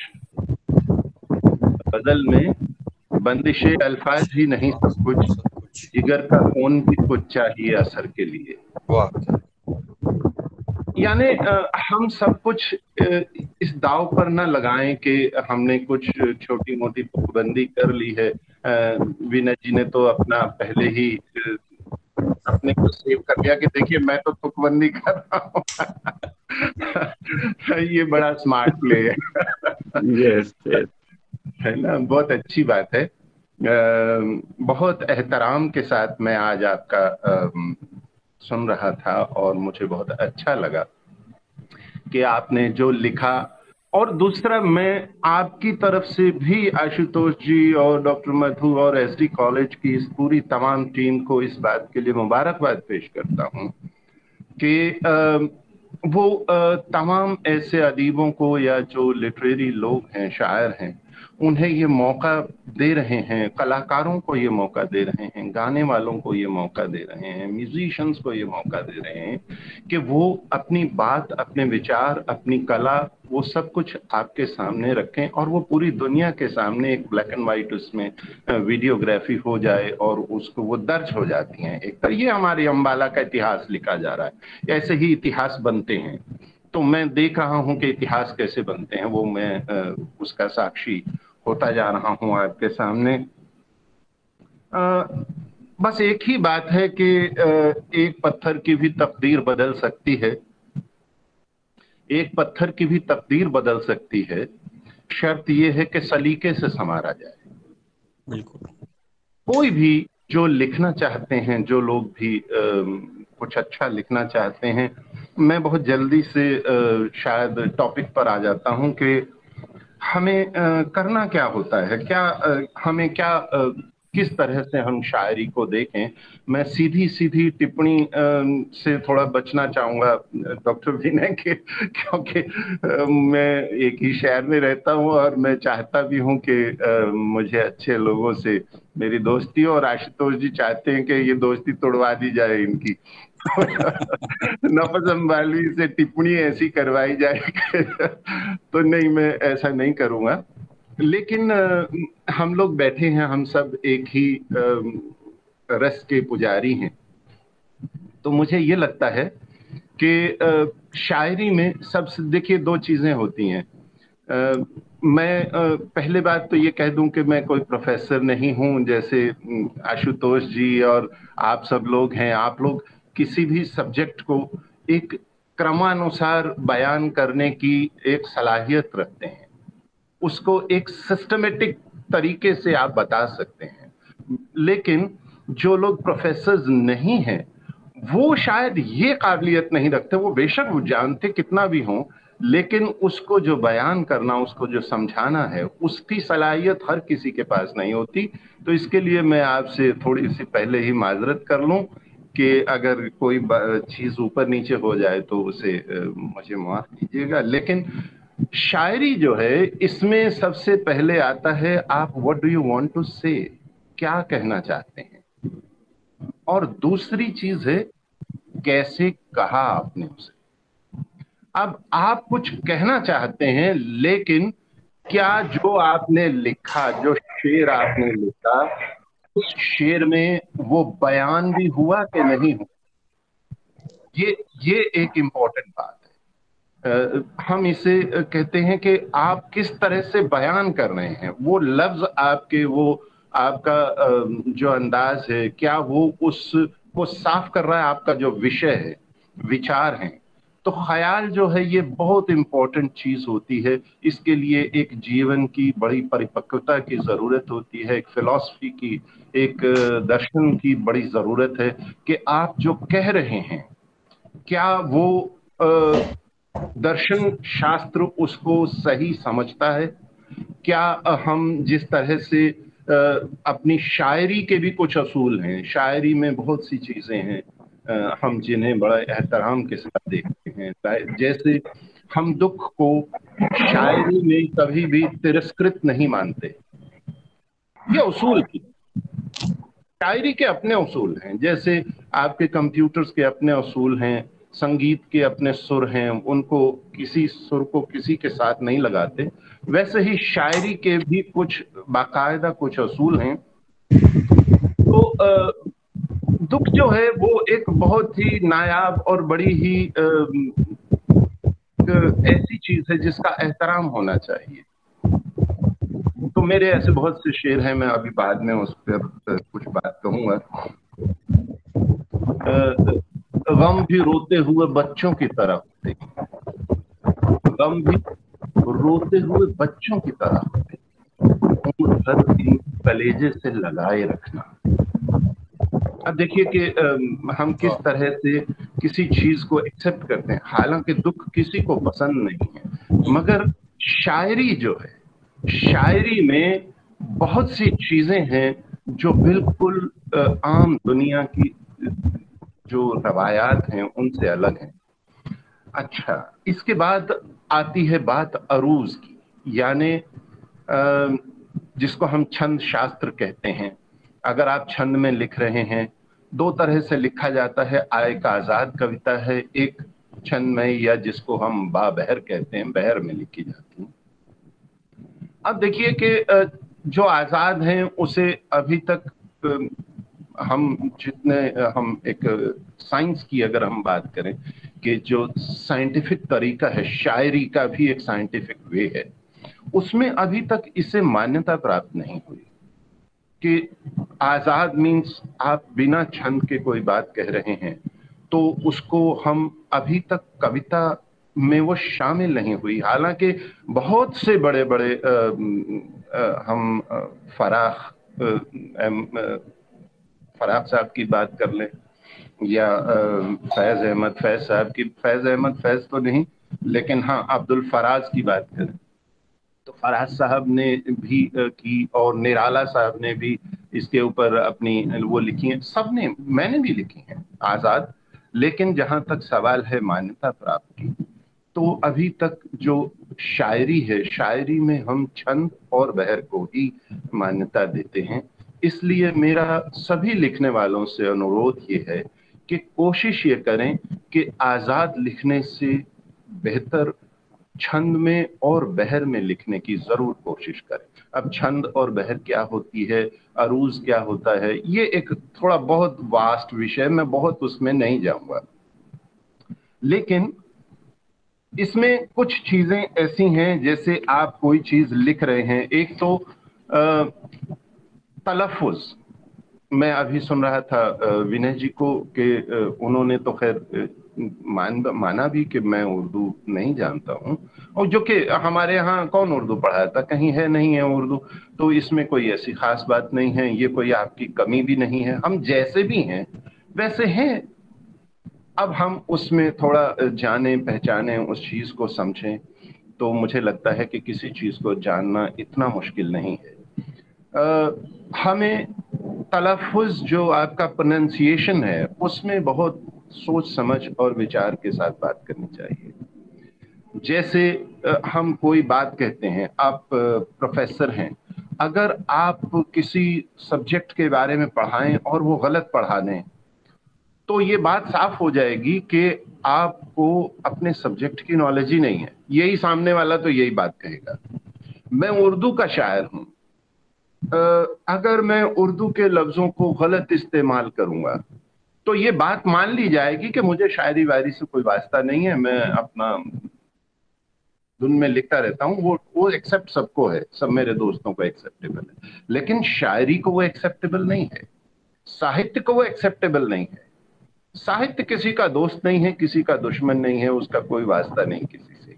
आपको वो जानते ही नहीं कि आप कंप्यूटर के प्रोफेसर हैं, या आप पीएचडी हैं, या आप छोटी मोटी तालीम हासिल की है। साहित्य को इससे कुछ लेना देना नहीं है। साहित्य तो सिर्फ़ वो परखता है जो आप लिखते हैं। आ, हम लोग देखते हैं कि एक लफ्ज इस्तेमाल हो रहा था मिजाज। अब हम इसको मिजाज भी बोलते हैं। बहुत से लोग इसको मिजाज भी बोलते हैं बहुत से लोग। लेकिन सही लफ्ज है मिजाज। तो हमें ये कोशिश करनी चाहिए कि मैं सभी लोगों से एक रिक्वेस्ट करूँगा कि वो डिक्शनरी ज़रूर रखें अपने पास और डिक्शनरी में हर लफ्ज़ को देखने का, चाहे आप अंग्रेज़ी सीख रहे हैं, चाहे आप हिंदी सीख रहे हैं, चाहे आप संस्कृत सीखते हैं या कोई भी ज़बान सीखते हैं, पंजाबी सीखते हैं, ये सब हमारी ज़बानें सभी पाक व साफ़ होती हैं, बहुत पाकिज़ा होती हैं, बहुत पूजनीय होती हैं, सभी ज़बानें। अंग्रेज़ी के समेत। हमें उनकी डिक्शनरीज रखनी चाहिए ताकि हम उनको समझ पाए बेहतर समझ पाए। हम यूज़ करते हैं आमतौर पर मैं देखता हूँ कि हम आ, आज के हालातों को देखते हुए। देखिए हालातों जो है आज के मेरे अल्फाजों को देखते हुए हम प्लूरल को और ज़्यादा उसको फिर प्लूरल बनाने की कोशिश कर रहे हैं। लफ्ज जो है, ये सिंगुलर है। अल्फाज उसका प्लूरल है। अगर हम अल्फाजों कर देंगे तो वो गलत हो जाएगा। ऐसे ही हालात जो हैं, हालत जो है वो सिंगल है और हालात जो है प्लूरल है और जब हम हालातों कर देंगे तो वो गलत हो जाएगा। ऐसे ही बहुत सारे लफ्ज हैं जो आजकल इस्तेमाल होते हैं। हम देखते हैं अखबारों में आप पढ़ें उसमें लिखा होता है, बड़ा बवाल काटा जी वहाँ पर। या वबाल काटा, आमतौर पर आपको वबाल लिखा मिलेगा। जबकि लफ्ज है जो वबा है, वबा से ये लफ्ज आया है वबाल। बवाल नहीं है, वबाल है। तो हमें छोटी छोटी चीज़ों को ध्यान में रखने की ज़रूरत है। जैसे हम दूसरे तमाम सब्जेक्ट्स की बात करते हैं। जैसे ही आप एक लफ्ज गलत बोलते हैं साहित्य में आप एक सीढ़ी नीचे आ जाते हैं। हमें इसलिए इस पर बहुत ध्यान देने की ज़रूरत है कि हम इसको हम पहले इस पर थोड़ी मश्क करें एक्सरसाइज करें, जिसको कि हम कसरत कहते हैं कुछ भी कहें अभ्यास कहें वो हमें करनी बहुत ज़रूरी है। आ, कविता सिर्फ़ आपके जहन में किसी ख्याल के आ जाने का नाम कविता नहीं है। ऐसा कोई इंसान नहीं है जिसके जहन में कोई ख्याल नहीं आते या अच्छे विचार नहीं आते। हम ऐसे लोगों को देखते हैं जिनके पास हमसे बहुत अच्छे विचार हैं। लेकिन शायरी उसको कहते हैं कि आप उन अच्छे विचारों को कैसे शब्दों में बांधते हैं और कितनी खूबसूरती से बांधते हैं। एक लफ्ज होता है चिराग। अब देखिए, लफ्ज है चराग, लेकिन हमने इसको चिराग बना दिया है। लफ्ज है सर, लेकिन हमने इसको सिर बना दिया है। ऐसे लफ्ज है फूल। फूल जो है, वो फूल नहीं है। फूल और फूल, ये दो अलग अलग लफ्ज हैं। तो हमें फूल तो अंग्रेज़ी का लफ्ज हो गया। हम जब फूल को फूल बोलें या फूल को फूल बोलें, ये बहुत उसके मानी बदल देता है। हमें इन छोटी छोटी चीज़ों पर ज़रूर ध्यान देना चाहिए, क्योंकि आमतौर पर जिन लोगों को इनकी नॉलेज नहीं है, वो इसे बहुत छोटा समझते हैं। जैसे मेरे जैसा आदमी कंप्यूटर को कहे, अरे भाई, क्या होता है? लड़के को बुलाओ, उसको दिखाओ, बात खत्म। कौन सी ऐसी बात होगी इसमें कौन सी बड़ी चीज़ है? लेकिन अगर मैं डॉक्टर विनय के सामने बैठूं, वो कह, जी, नहीं नहीं, ऐसा नहीं होता। कंप्यूटर ऐसा नहीं होता कि आप लड़के को बुलाओ, अपना कंप्यूटर दिखाओ, उसको दो सौ रुपए दो, हो गया। नहीं नहीं, ऐसा नहीं होता। It is a subject it's a knowledge और ये नॉलेज बड़ी गहरी है। इसे समझना इतना आसान नहीं। तो हर सब्जेक्ट को हम अगर इस पाबंदी और इस एहतराम के साथ समझें तो मुझे नहीं लगता कि कोई वजह है कि हम इसे न समझ पाए और उसमें कुछ बेहतर न करें। कुछ लोग बैठे हैं ये सब थोड़ा सा बोर हो जाते हैं जब हम शायरी छोड़कर कुछ काम की बात करने लगे तो थोड़ा हो तो वो एक शेर मुझे तो याद आता है। मुझे एक शेर याद आता है कि मोम के लोग कड़ी धूप में आ बैठे मोम के लोग कड़ी धूप में आ बैठे हैं। आओ अब इनके पिघलने का तमाशा देखें। हम ये ये ये पूरी की पूरी जो हमारी कवायद है ये आ, ऐसी है आ, कि मेरा कहना ये है कि उर्दू की शायरी अगर आप उर्दू में कर रहे हैं तो उर्दू के बारे में जाने ज़रूर। वो एक शेर आपने ज़रूर सुना होगा कि वो उर्दू का मुसाफिर है। यही पहचान है उसकी। जहाँ से भी गुजरता है सलीका छोड़ जाता है। क्या ये ये शेर यूँ ही नहीं लिखे गए। दरअसल इसके पीछे एक वजह भी है। हम बायस ना हो और हम नफरतों की आंधियों में बहे ना जो आजकल बह रही हैं। हम साहित्य से जुड़े हुए लोग हैं, मोहब्बत की बात करते हैं, और मोहब्बत की बात ही हमें समझ भी आती है।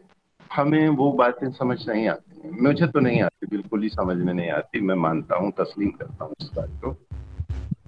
और मेरा कहना बस इतना ही है कि एक शेर मुझे याद आता है कि सलीके से हवाओं में जो खुशबू घोल सकते हैं सलीके से हवाओं में जो खुशबू घोल सकते हैं अभी कुछ लोग बाकी हैं जो उर्दू बोल सकते हैं हम्म। तो जबानें सभी मीठी हैं अगर हम उन्हें उसके हिसाब से उनके साथ थोड़ा न्याय रखने की कोशिश करें और उनका उनकी इज़्ज़त करें तो मुझे लगता है कि वो अपने आप आपके अंदर आती हैं बाकी सीधे सीधे अगर मैं बात करूँ थोड़ी सी छोटी सी बात कहना चाहूँगा। मेरे दोस्त डॉक्टर साहब को डॉक्टर विनय जी सर जी सर। जी डॉक्टर विनय गोयल जी को कि अभी आपको बहुत दूर तक जाना है आपने शायरी शुरू की है। इसमें आपको कई चीज़ें देखनी होंगी। हम कई चीज़ें देखते हैं। शायरी के बहुत से असनाफ हैं, सिनफे हैं, विधाएँ हैं। ठीक है? सिंफ जो है, एक विधा को कहते हैं, जब हम विधाएँ बोलते हैं तो उसको असनाफ कहते हैं। तो हम तमाम तरह की जितनी भी असनाफ हैं उसमें गज़ल आती है, नज्म आती है कता आता है, मरसिया आता है, नगमा आता है, दोहा आता है, कुंडलियाँ आती हैं, आज़ाद कविता आती है। और तरह तरह के, बहुत तरह के हम, यानी, एक है गद्य, एक है पद्य, ठीक है?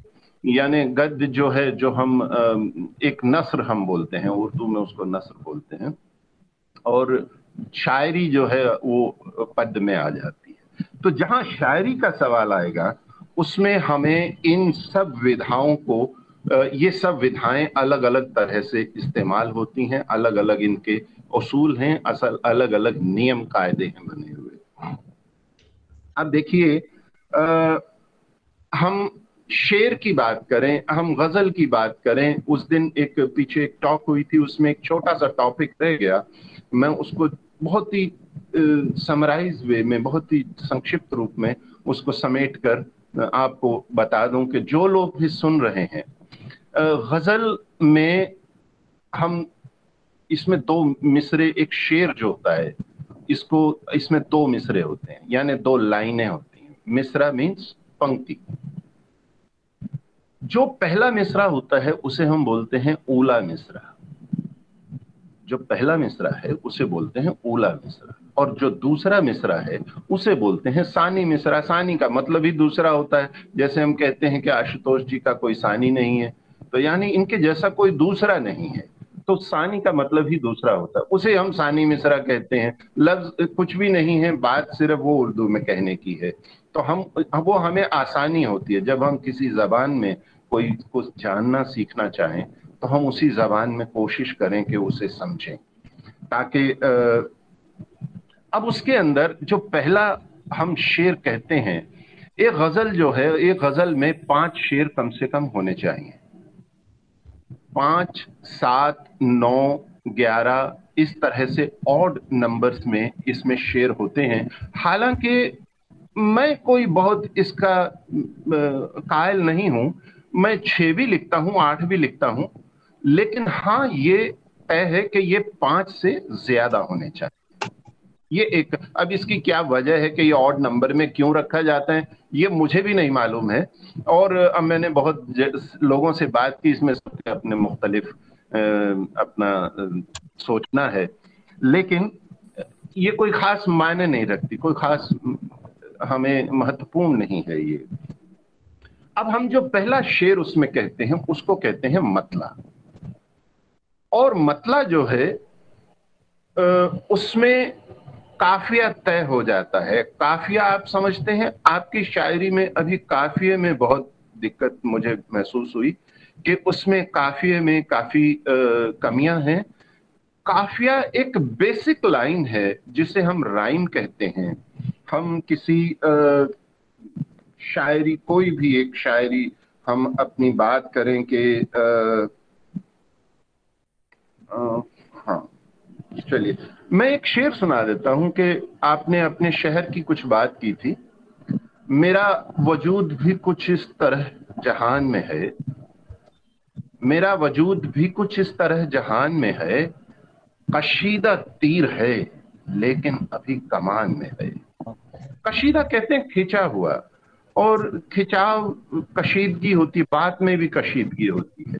लेकिन यहाँ जो कशीदा लफ्ज का इस्तेमाल हुआ है, वो तीर के लिए हुआ है और ये बहुत कम इस्तेमाल होता है इस तरह मेरा वजूद भी कुछ इस तरह जहान में है, कशीदा तीर है, लेकिन अभी कमान में है। और यहाँ के लोग अलिफ बे तो कम समझते हैं। यहाँ के लोग अलिफ बे तो कम समझते हैं।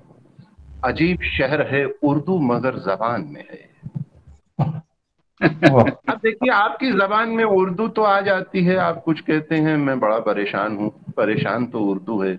हम कहते हैं, अरे भाई, वो बच्चे जा रहे हैं। बच्चा भी तो अरबी जो है, फारसी का शब्द है। तो हम बच्चे जा रहे हैं, वो बस स्टैंड पे खड़े हैं। ये भी तो अंग्रेज़ी का लफ्ज है। हम कहते हैं कि उसकी बस्ते में किताबें हैं। बस्ता भी तो जो है, ये फारसी का शब्द है। और उसकी किताबें जो है, ये अरबिक शब्द है। उसकी उसमें पेंसिलें भी डाल रखी हैं, उसने रंग डाल रखे हैं। रंग क्या है? रंग भी तो फारसी का शब्द है, पेंसिल भी तो अंग्रेज़ी का शब्द है। हमारी जो जबान है, वो एक मिक्स्ड, जिसको हम कहते हैं, किसी भी देश में, सभी देशों में तकरीबन एक मिक्स लैंग्वेज बोली जाती है। और ये कोई बुरी चीज़ नहीं है। भाषा जबान का मकसद है मेरे विचार आप तक पहुँचने चाहिए। हाँ उनका एक स्तर होना चाहिए कि हम बिल्कुल ज़मीन पर ना उतर आए, जैसे कि आजकल हमारी जबानें उतर आई हैं। न हिंदी के, ना उर्दू के रहे लोग यहाँ के चर्चे हैं मेरे मुल्क में गैरों की जबा के। मैंने कभी शेर लिखा था। अब हमारे हम अपने बच्चों से अगर हम देखते हैं तो हम उनको हिंदी दे नहीं पाए लेकिन हमने हम उनको अंग्रेज़ी भी नहीं सिखा पाए ठीक से।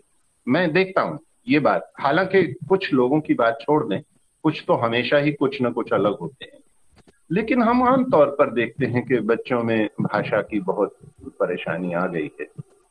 लेकिन आ, हमें आ, अब काम इस पर करना चाहिए कि हमें ये सब्जेक्ट दूसरा हो जाएगा। मुझे उस तरफ़ से उधर नहीं जाना चाहिए। हम आए गज़ल पर।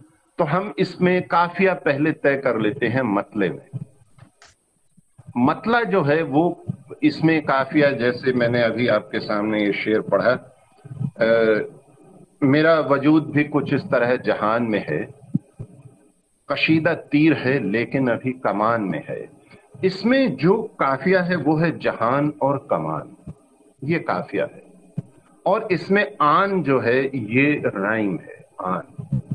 अब इसमें आप जहान जोड़ते हैं, कमान जोड़ते हैं मकान जोड़ते हैं तो ये सब कुछ इसके अंदर, ये सब तमाम काफिया आएँगे।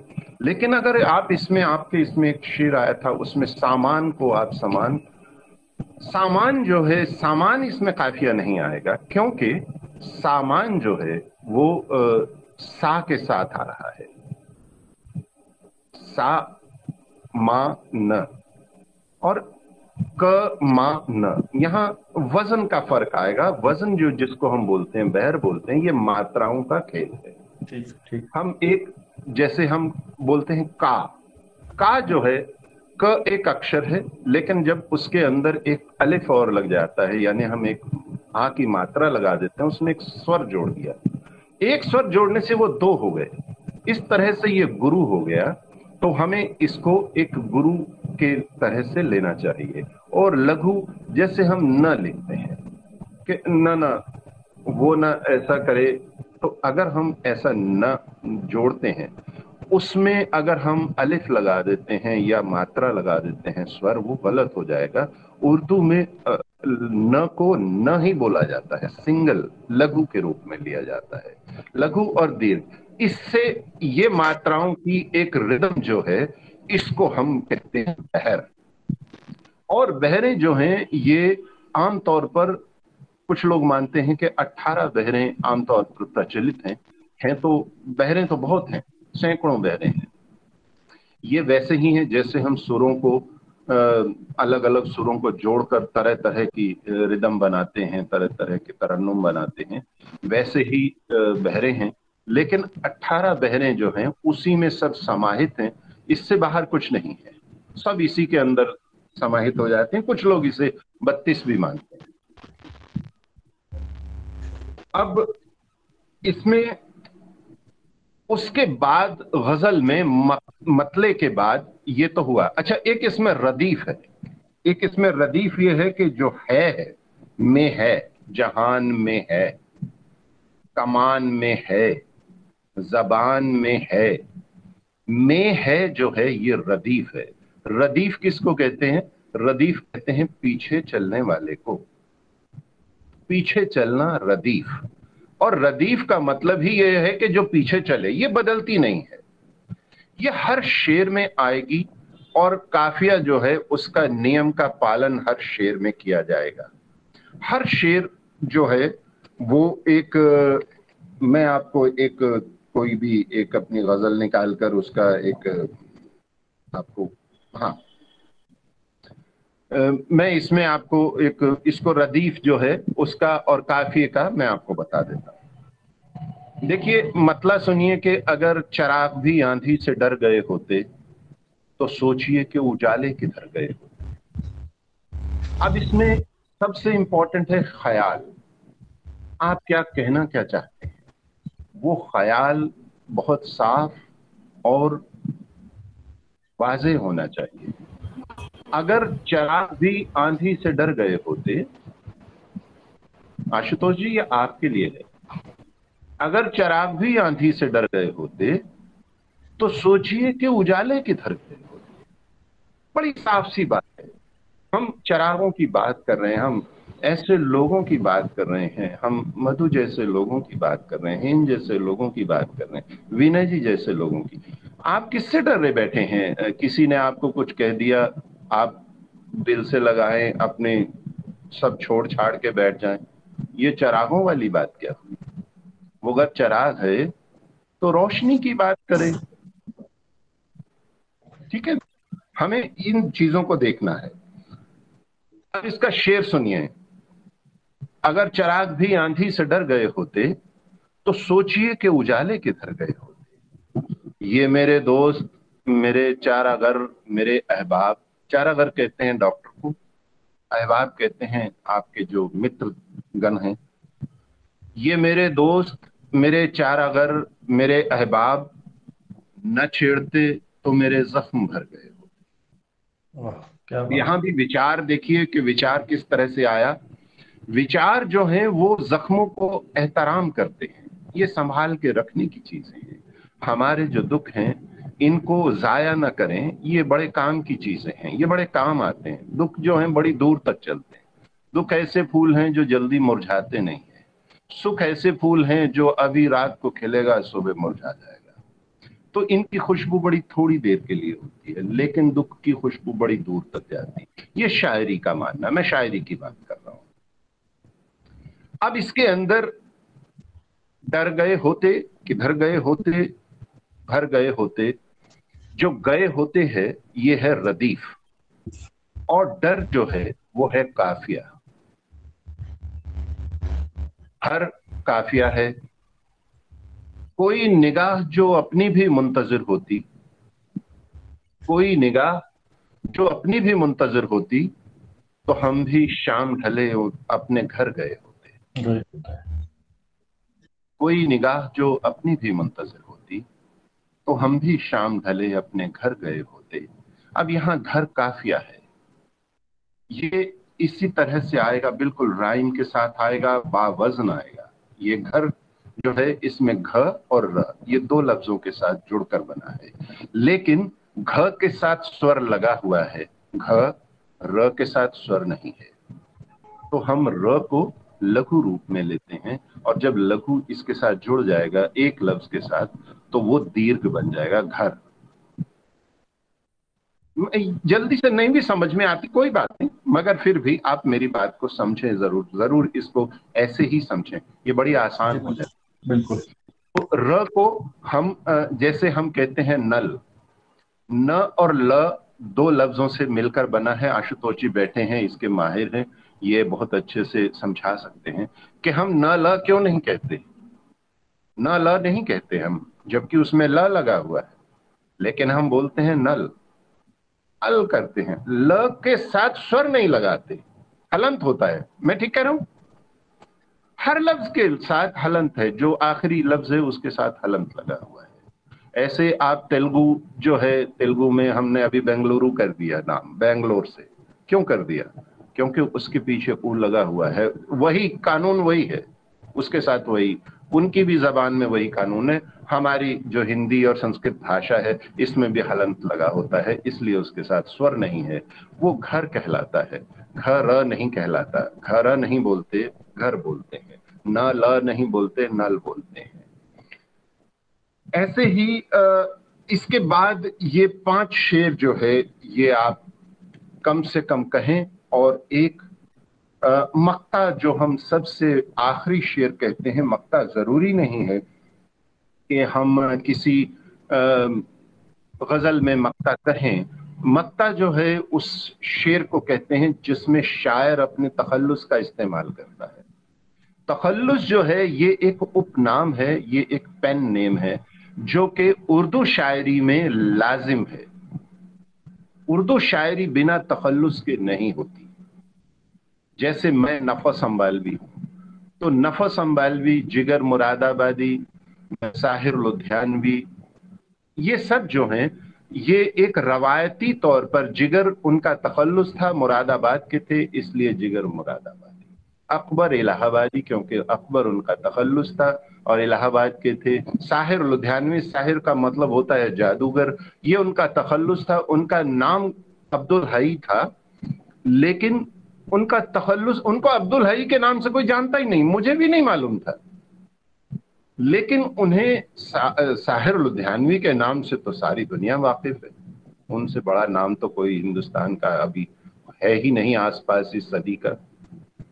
तो हमें जो काफिया जब जो सॉरी हम तखल्लुस इस्तेमाल करते हैं जिस शेर में तखल्लुस इस्तेमाल होता है उसे मक्ता कहते हैं। वो आखिरी शेर होता है। आखिरी शेर में मक्ता अगर तखल्लुस का इस्तेमाल मान लीजिए नहीं कहा, हम उसे बेमक्ता गज़ल कहेंगे।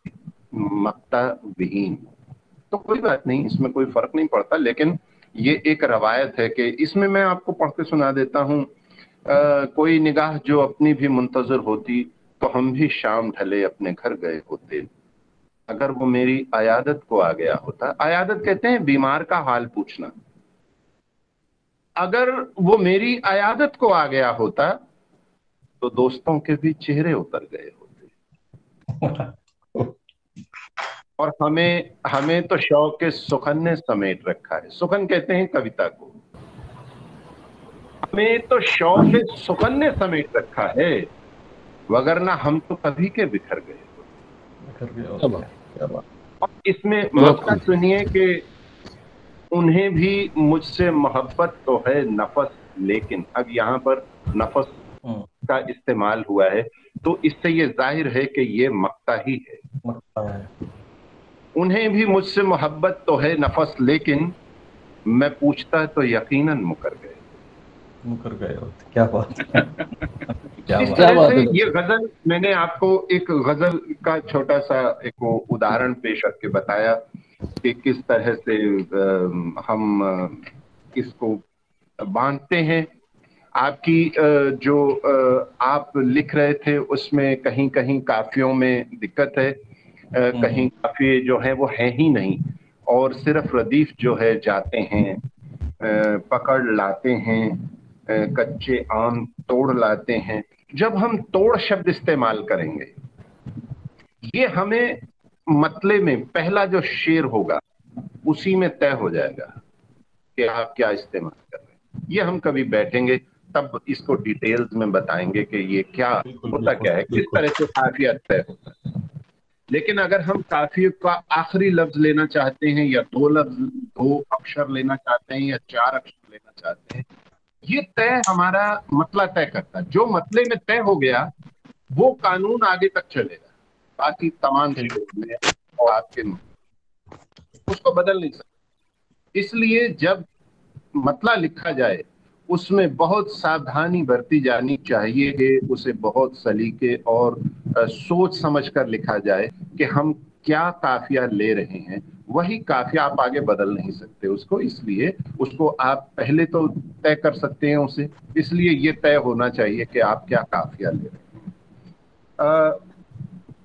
जान बचाते हैं, टोली बनाते हैं, शहतूत तोड़ कर खाते हैं। हमें एक जगह आप कहीं मकाम भी, जैसे एक आपकी थी, उसमें समान, ईमान के बाद एक जगह आया क्या? क्या लफ्ज आपने इस्तेमाल किया? हमें यहाँ पर यह देखना है कि सामान और ईमान के साथ क्या काफिया नहीं बने क्या जो है, वो क्या के साथ, या के साथ ही आएगा, वो हर जगह। क्या जो है, जब हम आधा लफ्ज, हमने आधा क इस्तेमाल किया है इसमें अक्षर तो इसमें उर्दू में क्या है कि क्या को हम सिर्फ़ एक दीर्घ में काउंट कर लेते हैं।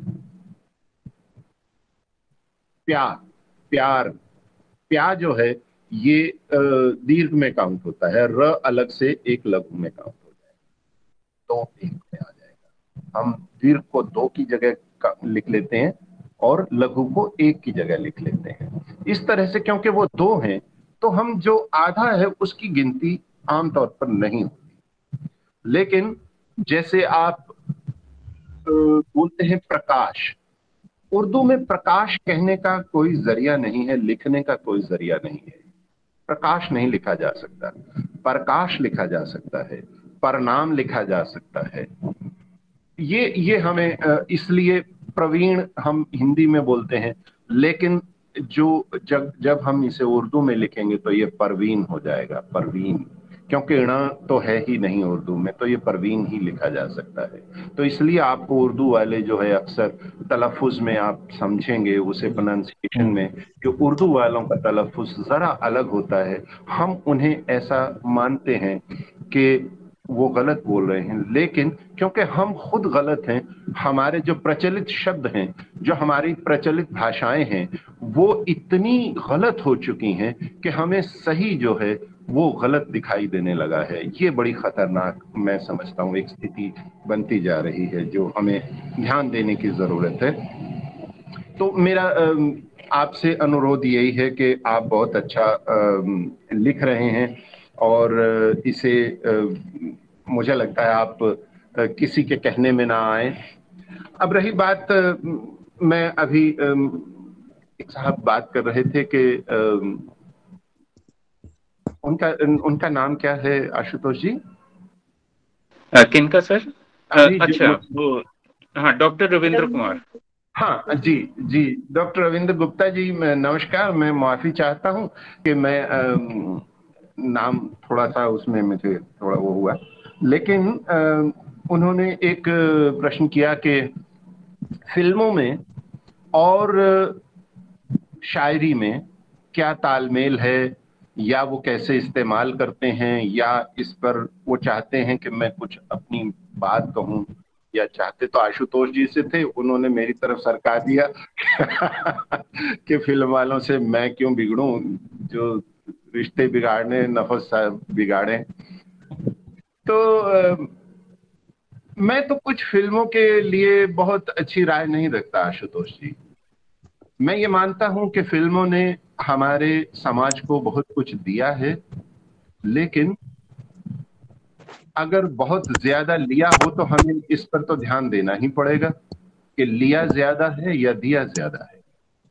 मुझे ऐसा लगता है कि उन्होंने समाज को निचोड़ा ज़्यादा है और गंदगी हमें परोसी ज़्यादा है।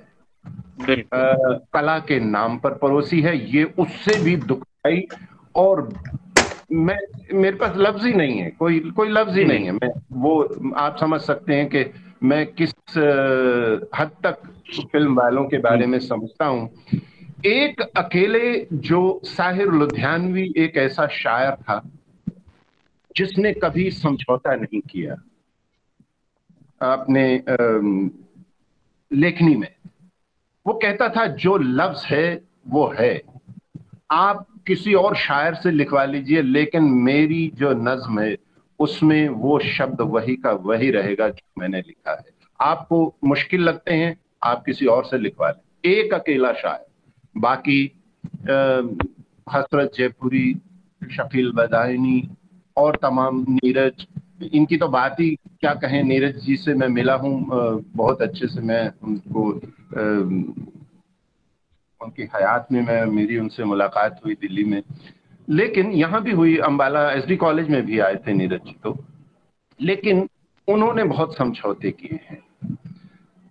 मैं एक अगर सिर्फ़ छोटे संक्षिप्त में अगर ये बात कहूँ तो मैं ये कहूँगा कि शायरी की गज़ल को या शायरी को आ, काफ़ी कुछ फ़िल्मों ने दिया ज़रूर है मकबूलियत दी ज़रूर है। लेकिन उसका जो नुकसान किया है, वो इतना ज़्यादा है कि जिसका बयान करना भी मुश्किल है कि उन्होंने आज अगर डॉक्टर विनय जी जैसे जो लोग हैं, नए लिखने वाले लोग हैं, जो कोशिश कर रहे हैं कि हम अच्छा लिखें, उनके लिए रास्ते कितने मुश्किल बना दिए हैं, ये डॉक्टर विनय जी जानते हैं। कि कितनी मुश्किल आती है किसी जरा सी बात को समझने के लिए कहाँ जाएँ, किसके पास पूछें, किससे बात करें, कोई है नहीं। अगर आप गूगल करेंगे गूगल से आपको कंप्यूटर कंप्यूटर की तो नॉलेज बहुत सही मिल सकती है, लेकिन शायरी, मुझे लगता है कि इतनी गलत शायरी की साइट्स बन चुकी हैं कि सही शायरी की जो साइट्स हैं वो बहुत कम रह गई हैं। लेकिन जो लोग सुन रहे हैं, मैं उनके लिए ये अर्ज़ कर दूँ कि एक रेखता, एक है रेखता डॉट कॉम ये बहुत एक अच्छी साइट है। और अंत में मैं बस इतना ही कहना चाहूँगा कि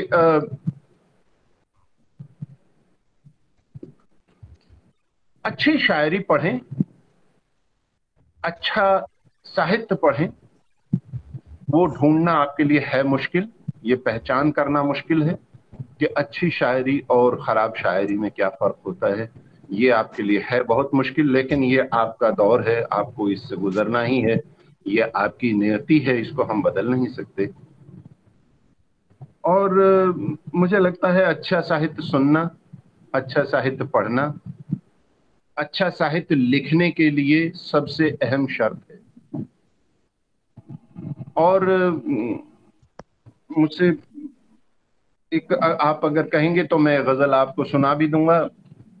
कुछ रंग बदलने के लिए बहुत बोर कर दिया है मैंने मुझे लगता है।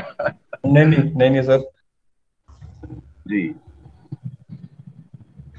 चलिए मैं आपको एक गज़ल सुना देता हूँ और मुझे लगता है आज चर्चा को तो यहीं खत्म कर लिया जाए। क्यों आशुतोष जी? ठीक है? जी सर। बस इस इसको ज़रूर सुनना चाहेंगे इस नज्म को।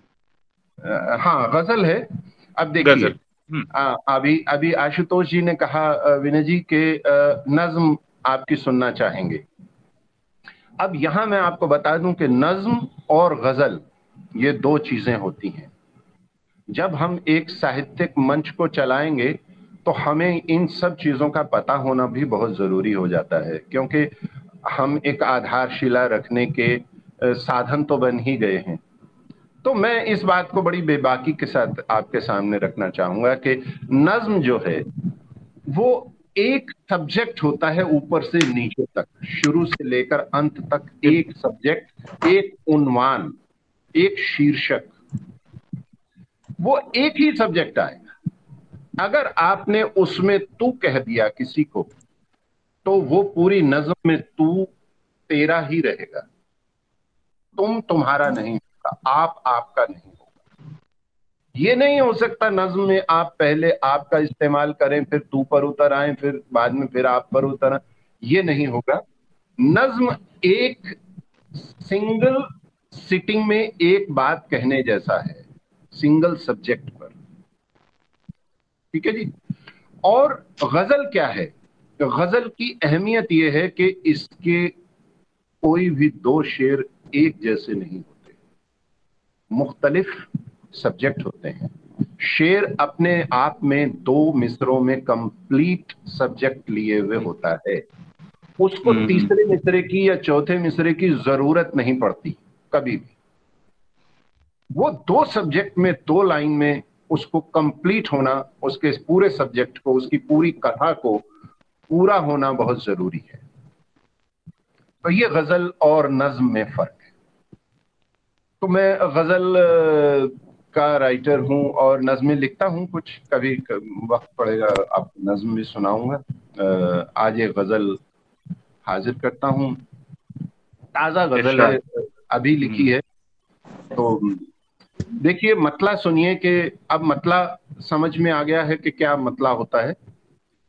और इसे आप बड़े ध्यान से सुनिएगा कि इसमें काफिया और रदीफ कैसे इस्तेमाल होती हैं और फिर उसके बाद काफिया कितनी तरह के रंग लेता है, लेकिन उसमें एक एक आत्मता होती है, वो एक तरह से चलेगा। उसका रंग जो है, उसके जो, उसका स्वरूप है, वो बदल नहीं सकता।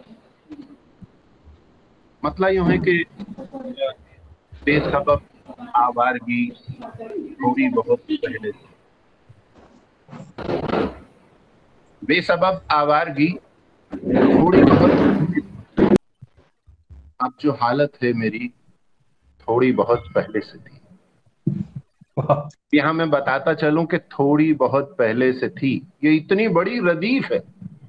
ये पूरी रदीफ कहीं बदली नहीं हो सकती इसका ये नियम है। आवारगी जो है ये काफिया है। इसमें गी जो लास्ट में आ रहा है वो इसका काफिया है। बेसबब आवारगी थोड़ी बहुत पहले से थी।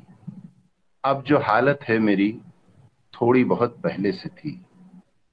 आरजुए सरकशी हालाँकि अब भी कम नहीं। सरकशी सर कटाना या विरोध करना। आरजुए सरकशी हालाँकि अब भी कम नहीं, खुद से अपनी दुश्मनी थोड़ी बहुत पहले से थी। पहले से थी। क्या बात।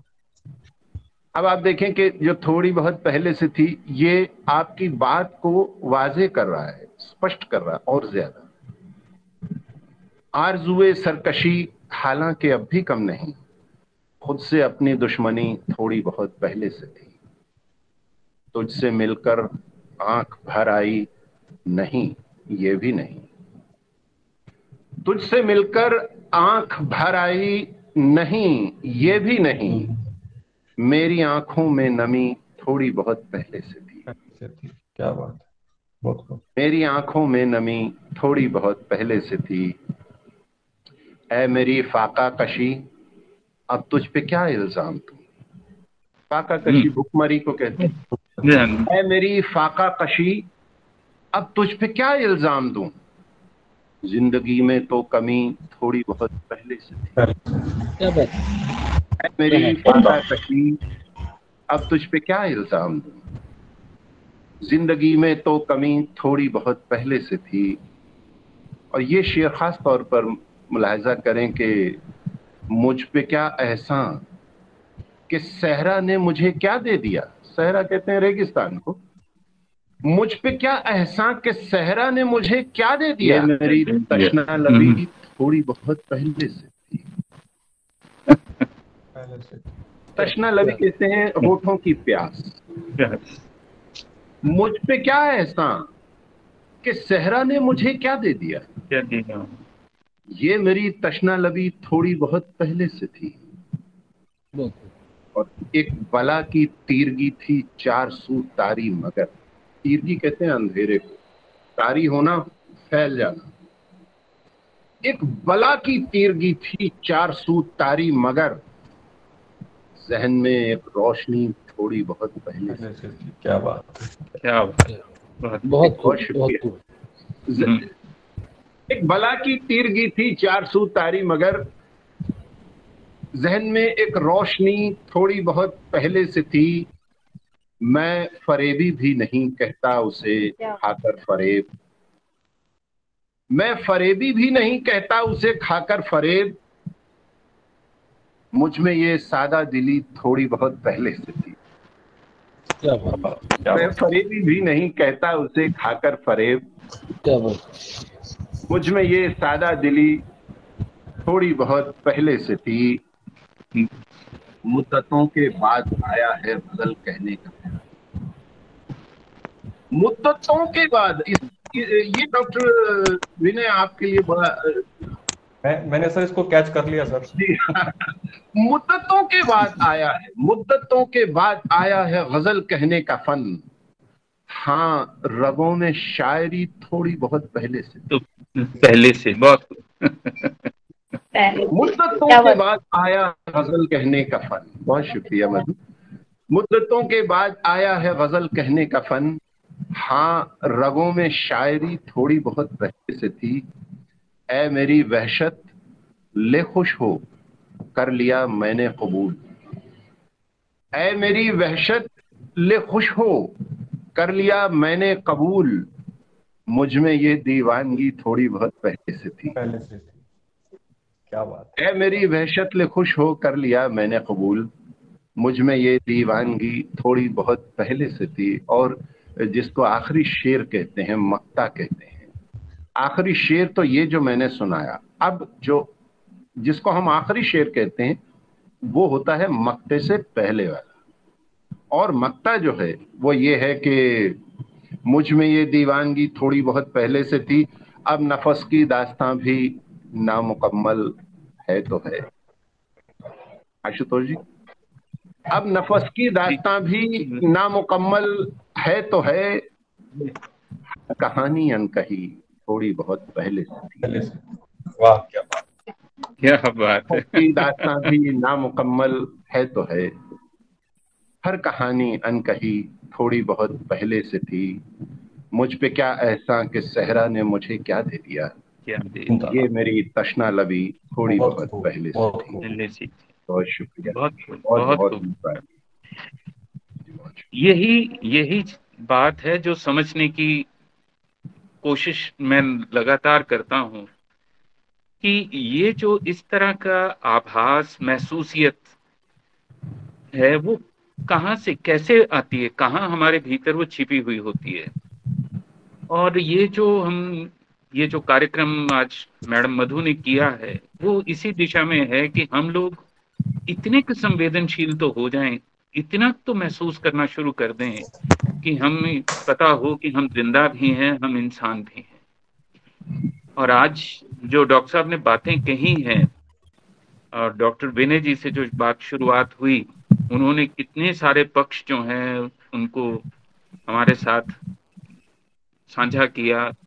अपनी रचनाओं में उन्होंने जो कुछ पेश किया है, ज़िंदगी के कई रंग उन्होंने हमारे साथ साझे किए हैं, वो वाकई प्रशंसा के योग्य हैं। और वाकई उनसे कई और तरीकों से आज परिचय हुआ।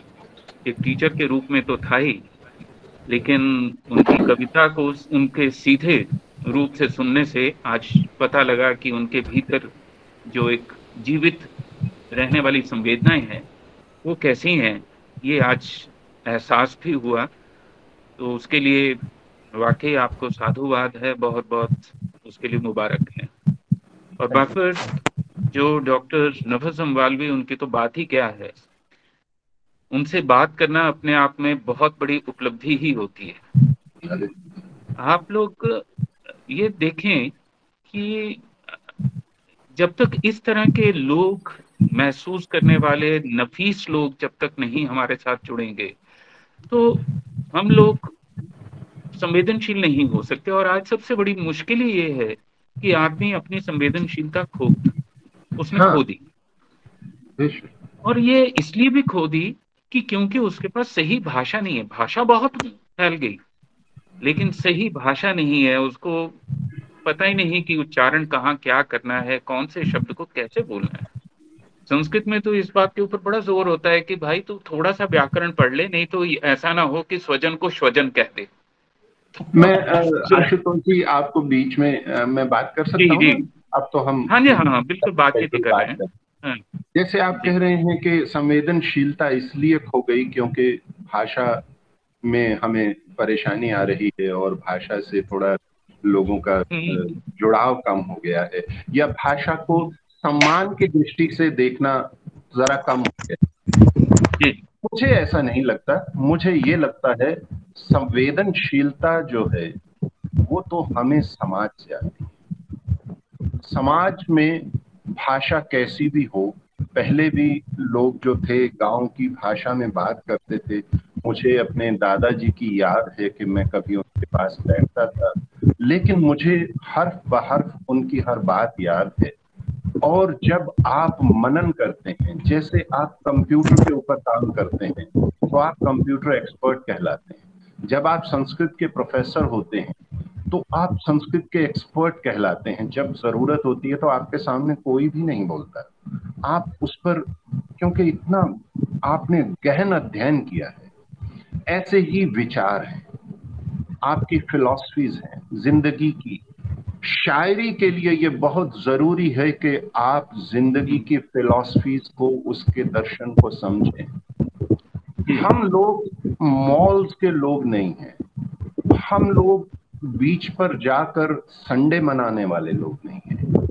मैं तो समंदर में खो जाने वाला आदमी अगर मैं मैं बीच पर गया मैं ऑस्ट्रेलिया में था वहाँ मैं जब भी बीच पर जाता था तो मैं अपने बच्चों से कहता था तुम जाओ मुझे छोड़ दो भूल जाओ मुझे मैं हूँ भी नहीं। जी। यानी हम हम क्या हैं? हम उस असीमितता के अंदर खो जाना पसंद करते हैं। तो हमें ज़िंदगी के जो दर्शन हैं उनको समझने की ज़रूरत है। जब तक हमारे पास दर्शन नहीं है हम शायरी नहीं कर सकते। दर्शन पहली चीज़ है। अच्छा इंसान होना पहले है। बाकी सब बात में। वो तो ये मेरा कहना है। संजीदगी हसास हिस्सियत जिसको हम कहते हैं कि जो सेंसिटिविटी है। ये हिस्सियत जो है ये हमारे समाज में ही कम होती जा रही है और इसके लिए बहुत सारे कारण हैं जो उसमें एक फ़िल्में भी मैं मानता हूँ कि फ़िल्मों का एक बहुत बड़ा रोल है बहुत जिन्होंने जिनको हम कभी माफ़ नहीं कर सकते। मैं ये बात एक ऐसे लेवल पर ये बात कह रहा हूँ जो मैं हर जगह इस बात को कहने को तैयार हूँ ये जद्दोजहद ये हमारा एक लड़ाई है। ये हम जैसे लोगों की आशुतोष जैसे लोगों की हम जैसे लोगों को इकट्ठा होकर इस लड़ाई को लड़ना है और ये बात को समझाना है कि हर चीज़ का हम उन्हें खुदा नहीं बना सकते। हालाँकि मेरे बहुत अच्छे शकील आजमी जैसे मेरे बहुत अच्छे दोस्त हैं फ़िल्मों में जो लिख रहे हैं आज भी लिख रहे हैं। और वो शकील आजमी खुद कहता है कि नहीं ये ये कोई बहुत अच्छी लाइन नहीं है। हमें मजबूरन कुछ चीज़ें करनी पड़ती हैं क्योंकि वहाँ जो लोग हैं उनके स्तर इतने नीचे हैं जहाँ से हमारा स्तर शुरू भी नहीं होता। जी ये यही बात है खत्म हो जाती ये यही बात है कि पॉपुलर म्यूज़िक पॉपुलर पोइट्री के नाम पर हमने सब कुछ डिस्टॉर्ट कर दिया। विकृतियाँ इतनी ले आए हैं। इसलिए बात मैं ये कह रहा था कि भाषा एक ऐसा माध्यम है अगर हम उसको ठीक कर लें आसान भाषा बनाने की ज़रूरत नहीं है। जब आपके विचार सूक्ष्म होंगे भाव व्यापक होंगे तो आपको भाषा भी उस तरह की चाहिए की और वो हमने अपने कोर्सेज से निकाल दी आम बोलचाल की भाषा में निकाल दी। और मैं आ, आपकी बात से सहमत हूँ कि हमारे से एक पीढ़ी पीछे के लोग उनमें ये बात देखने को मिलती है कि जो वो कहते थे उसमें कहीं कुछ संशय संदेह नहीं था। आज दो पढ़े लिखे टीचर भी आपस में बात करते हैं तो कितनी गलतफहमियाँ पैदा होती हैं और कितनी बार उनको कहना पड़ता है यार मेरे कहने का ये मतलब नहीं था। तो ये कठिनाई ये ज़्यादा पढ़ने लिखने का बड़ा गड़बड़ हो गया है। लेकिन वाकई आज का जो ये चर्चा रही है, जो कविताएँ और जो हमें शेर व शायरी सुनने को मिली है और दो कवियों को विचार करते हुए जो देखा है, मुझे लगता है ये हम सभी के लिए बहुत बड़ी उपलब्धि है। और इसने हम लोगों के एक डायरेक्शन दी है कि भाई किस तरह से भी देखना चाहिए, समझना चाहिए, महसूस करना चाहिए और कहना, आना चाहिए। तो आप लोगों ने जो कुछ आज सिखाया है वो वाकई प्रशंसा के योग्य है। उसके लिए बहुत बहुत साधुवाद है। और मैडम मधु शर्मा जी को तो वाकई उनके लिए तो बहुत सारी शुभकामनाएँ हैं कि उन्होंने ये उत्साह दिखाया ये उद्यम किया। और ये उद्यम बाकी टीचर्स भी करते रहे वो स्वयं भी करते रहे। तो निश्चित रूप से आ, मैं चाहूँगा कि मैडम मधु आप सुन रहे हैं? जी। ओवर टू यू सर जी सर आपकी प्रेरणा है। मेरी प्रेरणा नहीं है। ये आपकी आप आप जानते हैं ये आपका बड़प्पन है कि आप इस बात को कभी स्वीकारते नहीं है। पर ये मैं हमेशा कहना चाहूँगी कि आपके साथ बात करना और डॉक्टर विजय शर्मा उनके साथ बात करती हूँ मैं डॉक्टर नफस अम्बालमी डॉक्टर विनय गोयल।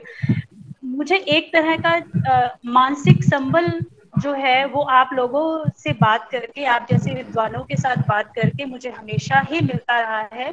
और डॉक्टर विनय गोयल हैं, वो तो हमेशा ही मैं कहूँगी जब मुझे प्रोफेशनल लेवल पे या किसी भी तरह से किसी भी एक मेरा मनोबल गिरने लगता है तो सर हमेशा उसको उठाते हैं कि किस तरह से करना है, चीज़ों को मेरा मार्गदर्शन करते हैं।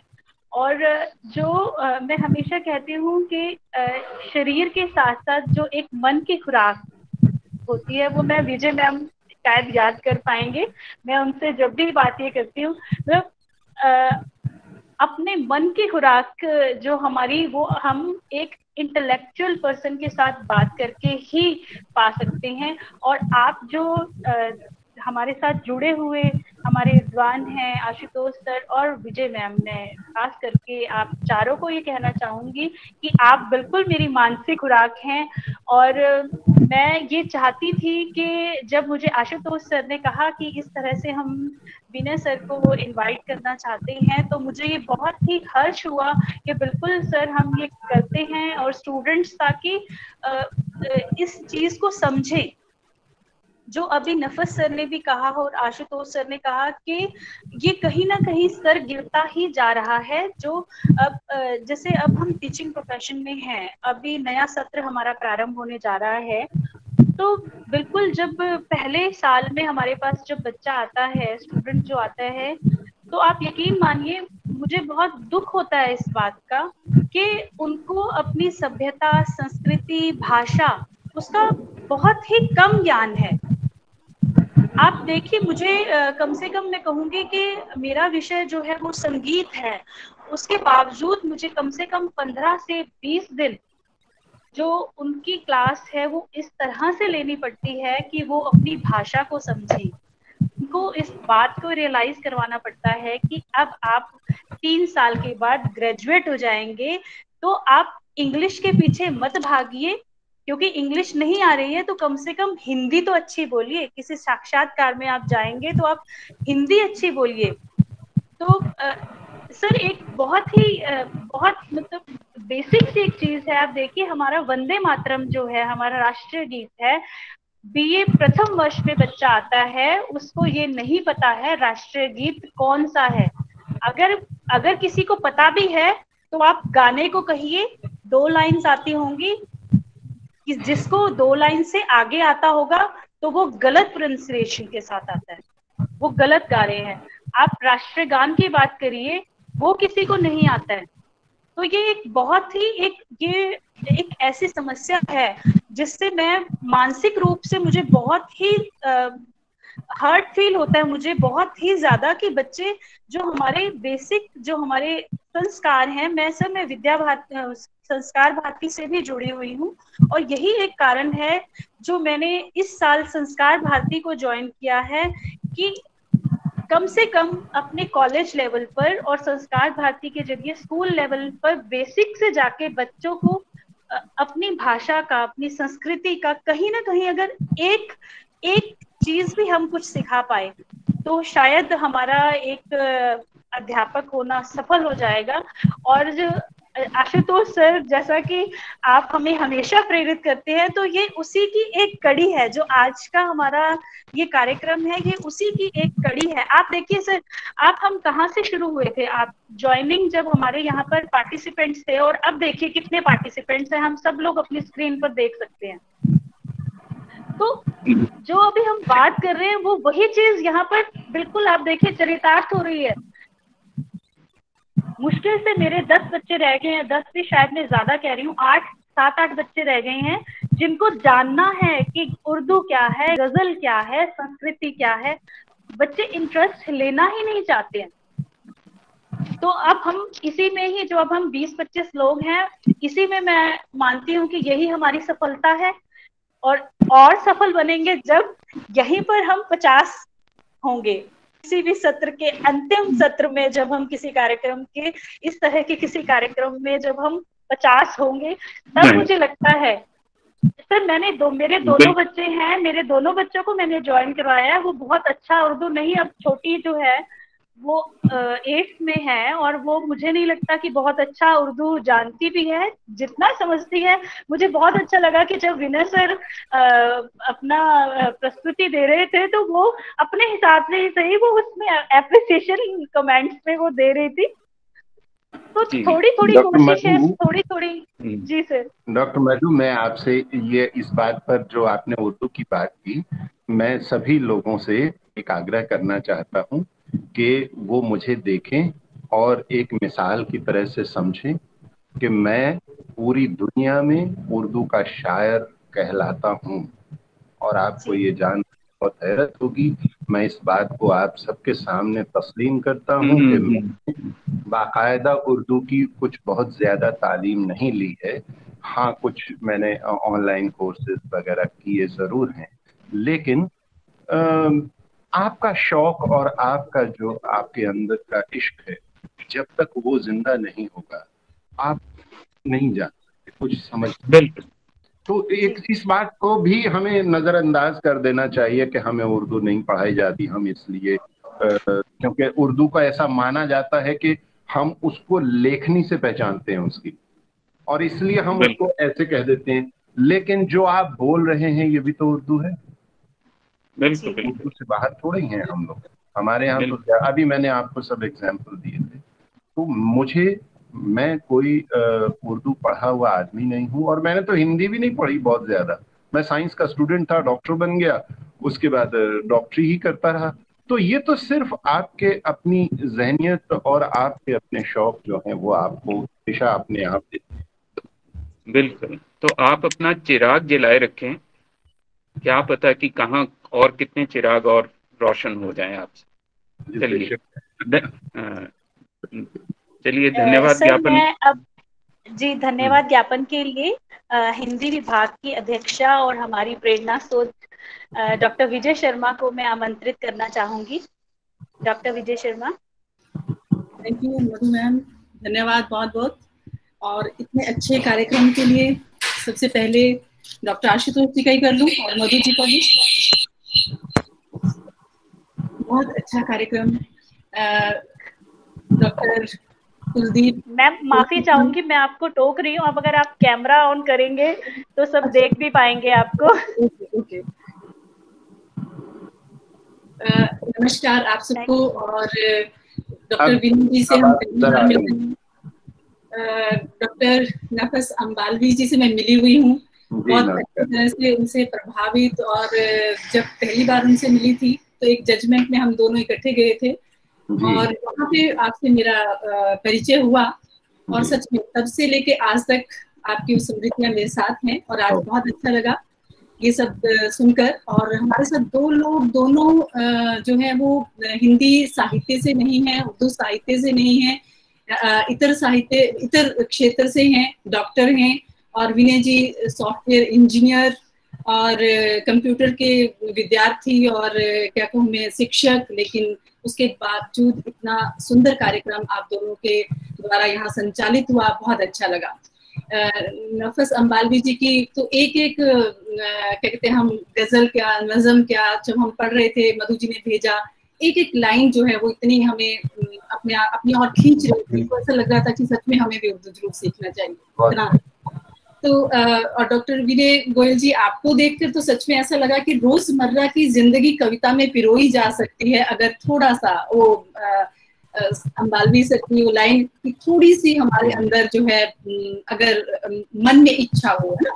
तो आपने बहुत सुंदर ढंग से प्रकृति को भी लिया, जीवन को भी लिया, और यहाँ तक कि अपने रोज़मर्रा के जो हमारे गर्ज होते हैं दूसरे के साथ, वो भी बहुत सुंदर तरीके से आपने व्यक्त किए। और इसके साथ साथ भाषा को तो देखो बिल्कुल आशुतोष जी के साथ मैं सहमत हूँ कि भाषा का स्तर पहले से आम हुआ है। तो आम का मीन्स जो हमारी बोलचाल की भाषा है, वो बहुत ज़्यादा ऐसी होगी कि ना हम उर्दू जानते हैं ना हम हिंदी जानते, या ना हम इंग्लिश जानते। हो इतना मिश्रण हो गया है कि शुद्धता की कमी के कारण है। लेकिन ये बात मुझे मालवी जी, आपकी बहुत अच्छी लगी कि दर्शन ठीक होना चाहिए। अगर हमारा दर्शन जो है, वो सही है तो भाषा हाँ। आधार चाहिए। आधार चाहिए। जब आधार आपका ठोस होगा तो उसके बाद आपकी भाषा जो है यानी भाव जो है वो अपने आप व्यक्त हो जाएँगे। कबीर की भाषा को जब हम देखते हैं तो देखो भाषा उनके आगे बड़ी अपने आप को दयनीय समझती है। जैसा वो चाहते हैं उसको तोड़ मरोड़ के वैसा प्रस्तुत कर देते हैं जैसा करना चाहते हैं। तो यहाँ पर आप लोगों ने भी विनय सर ने भी अपनी बात को बहुत सुंदर ढंग से रखा।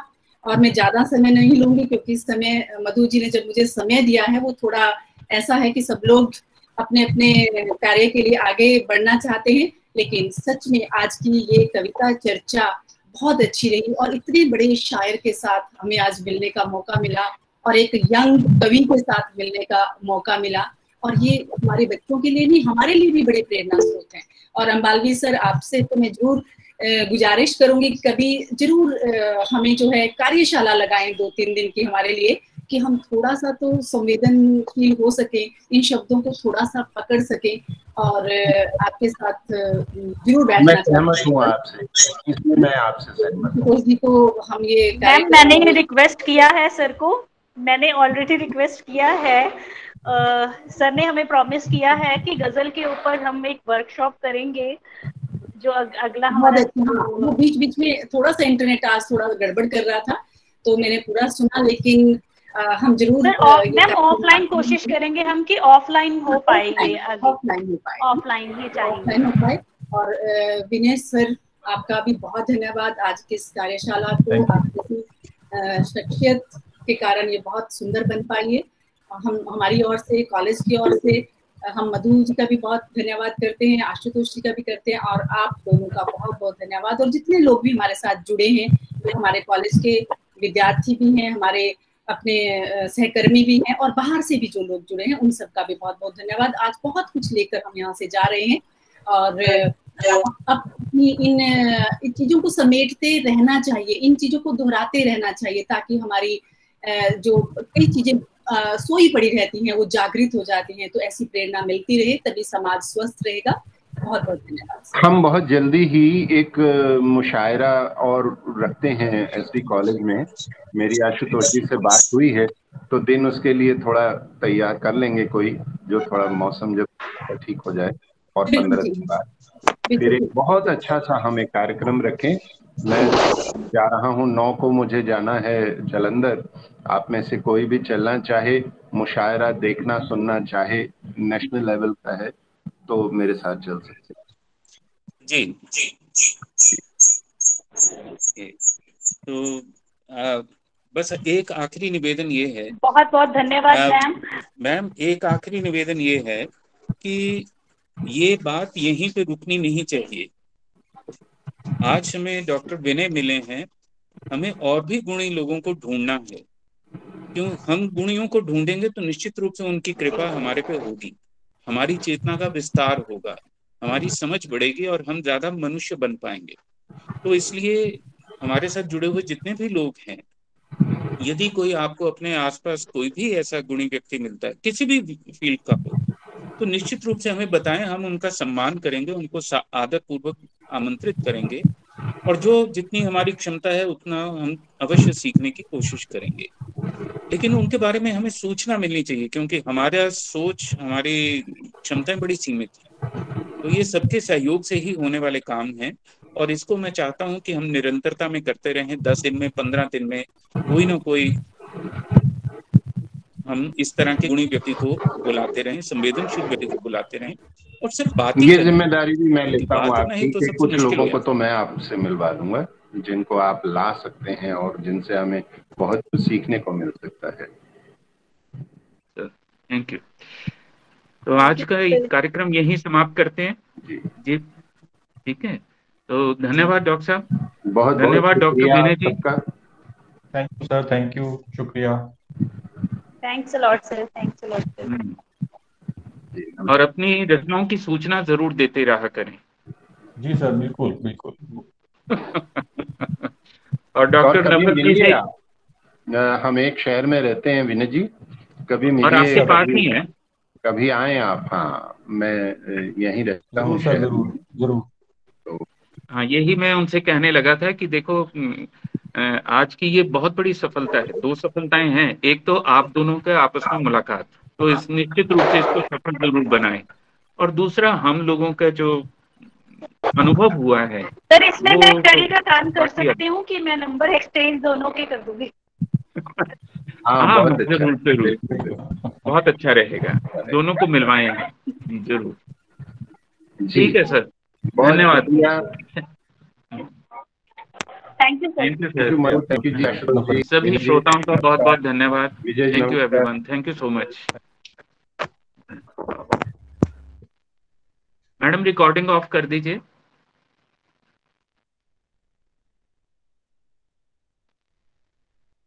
रिकॉर्डिंग मैडम ऑफ़ करा दें।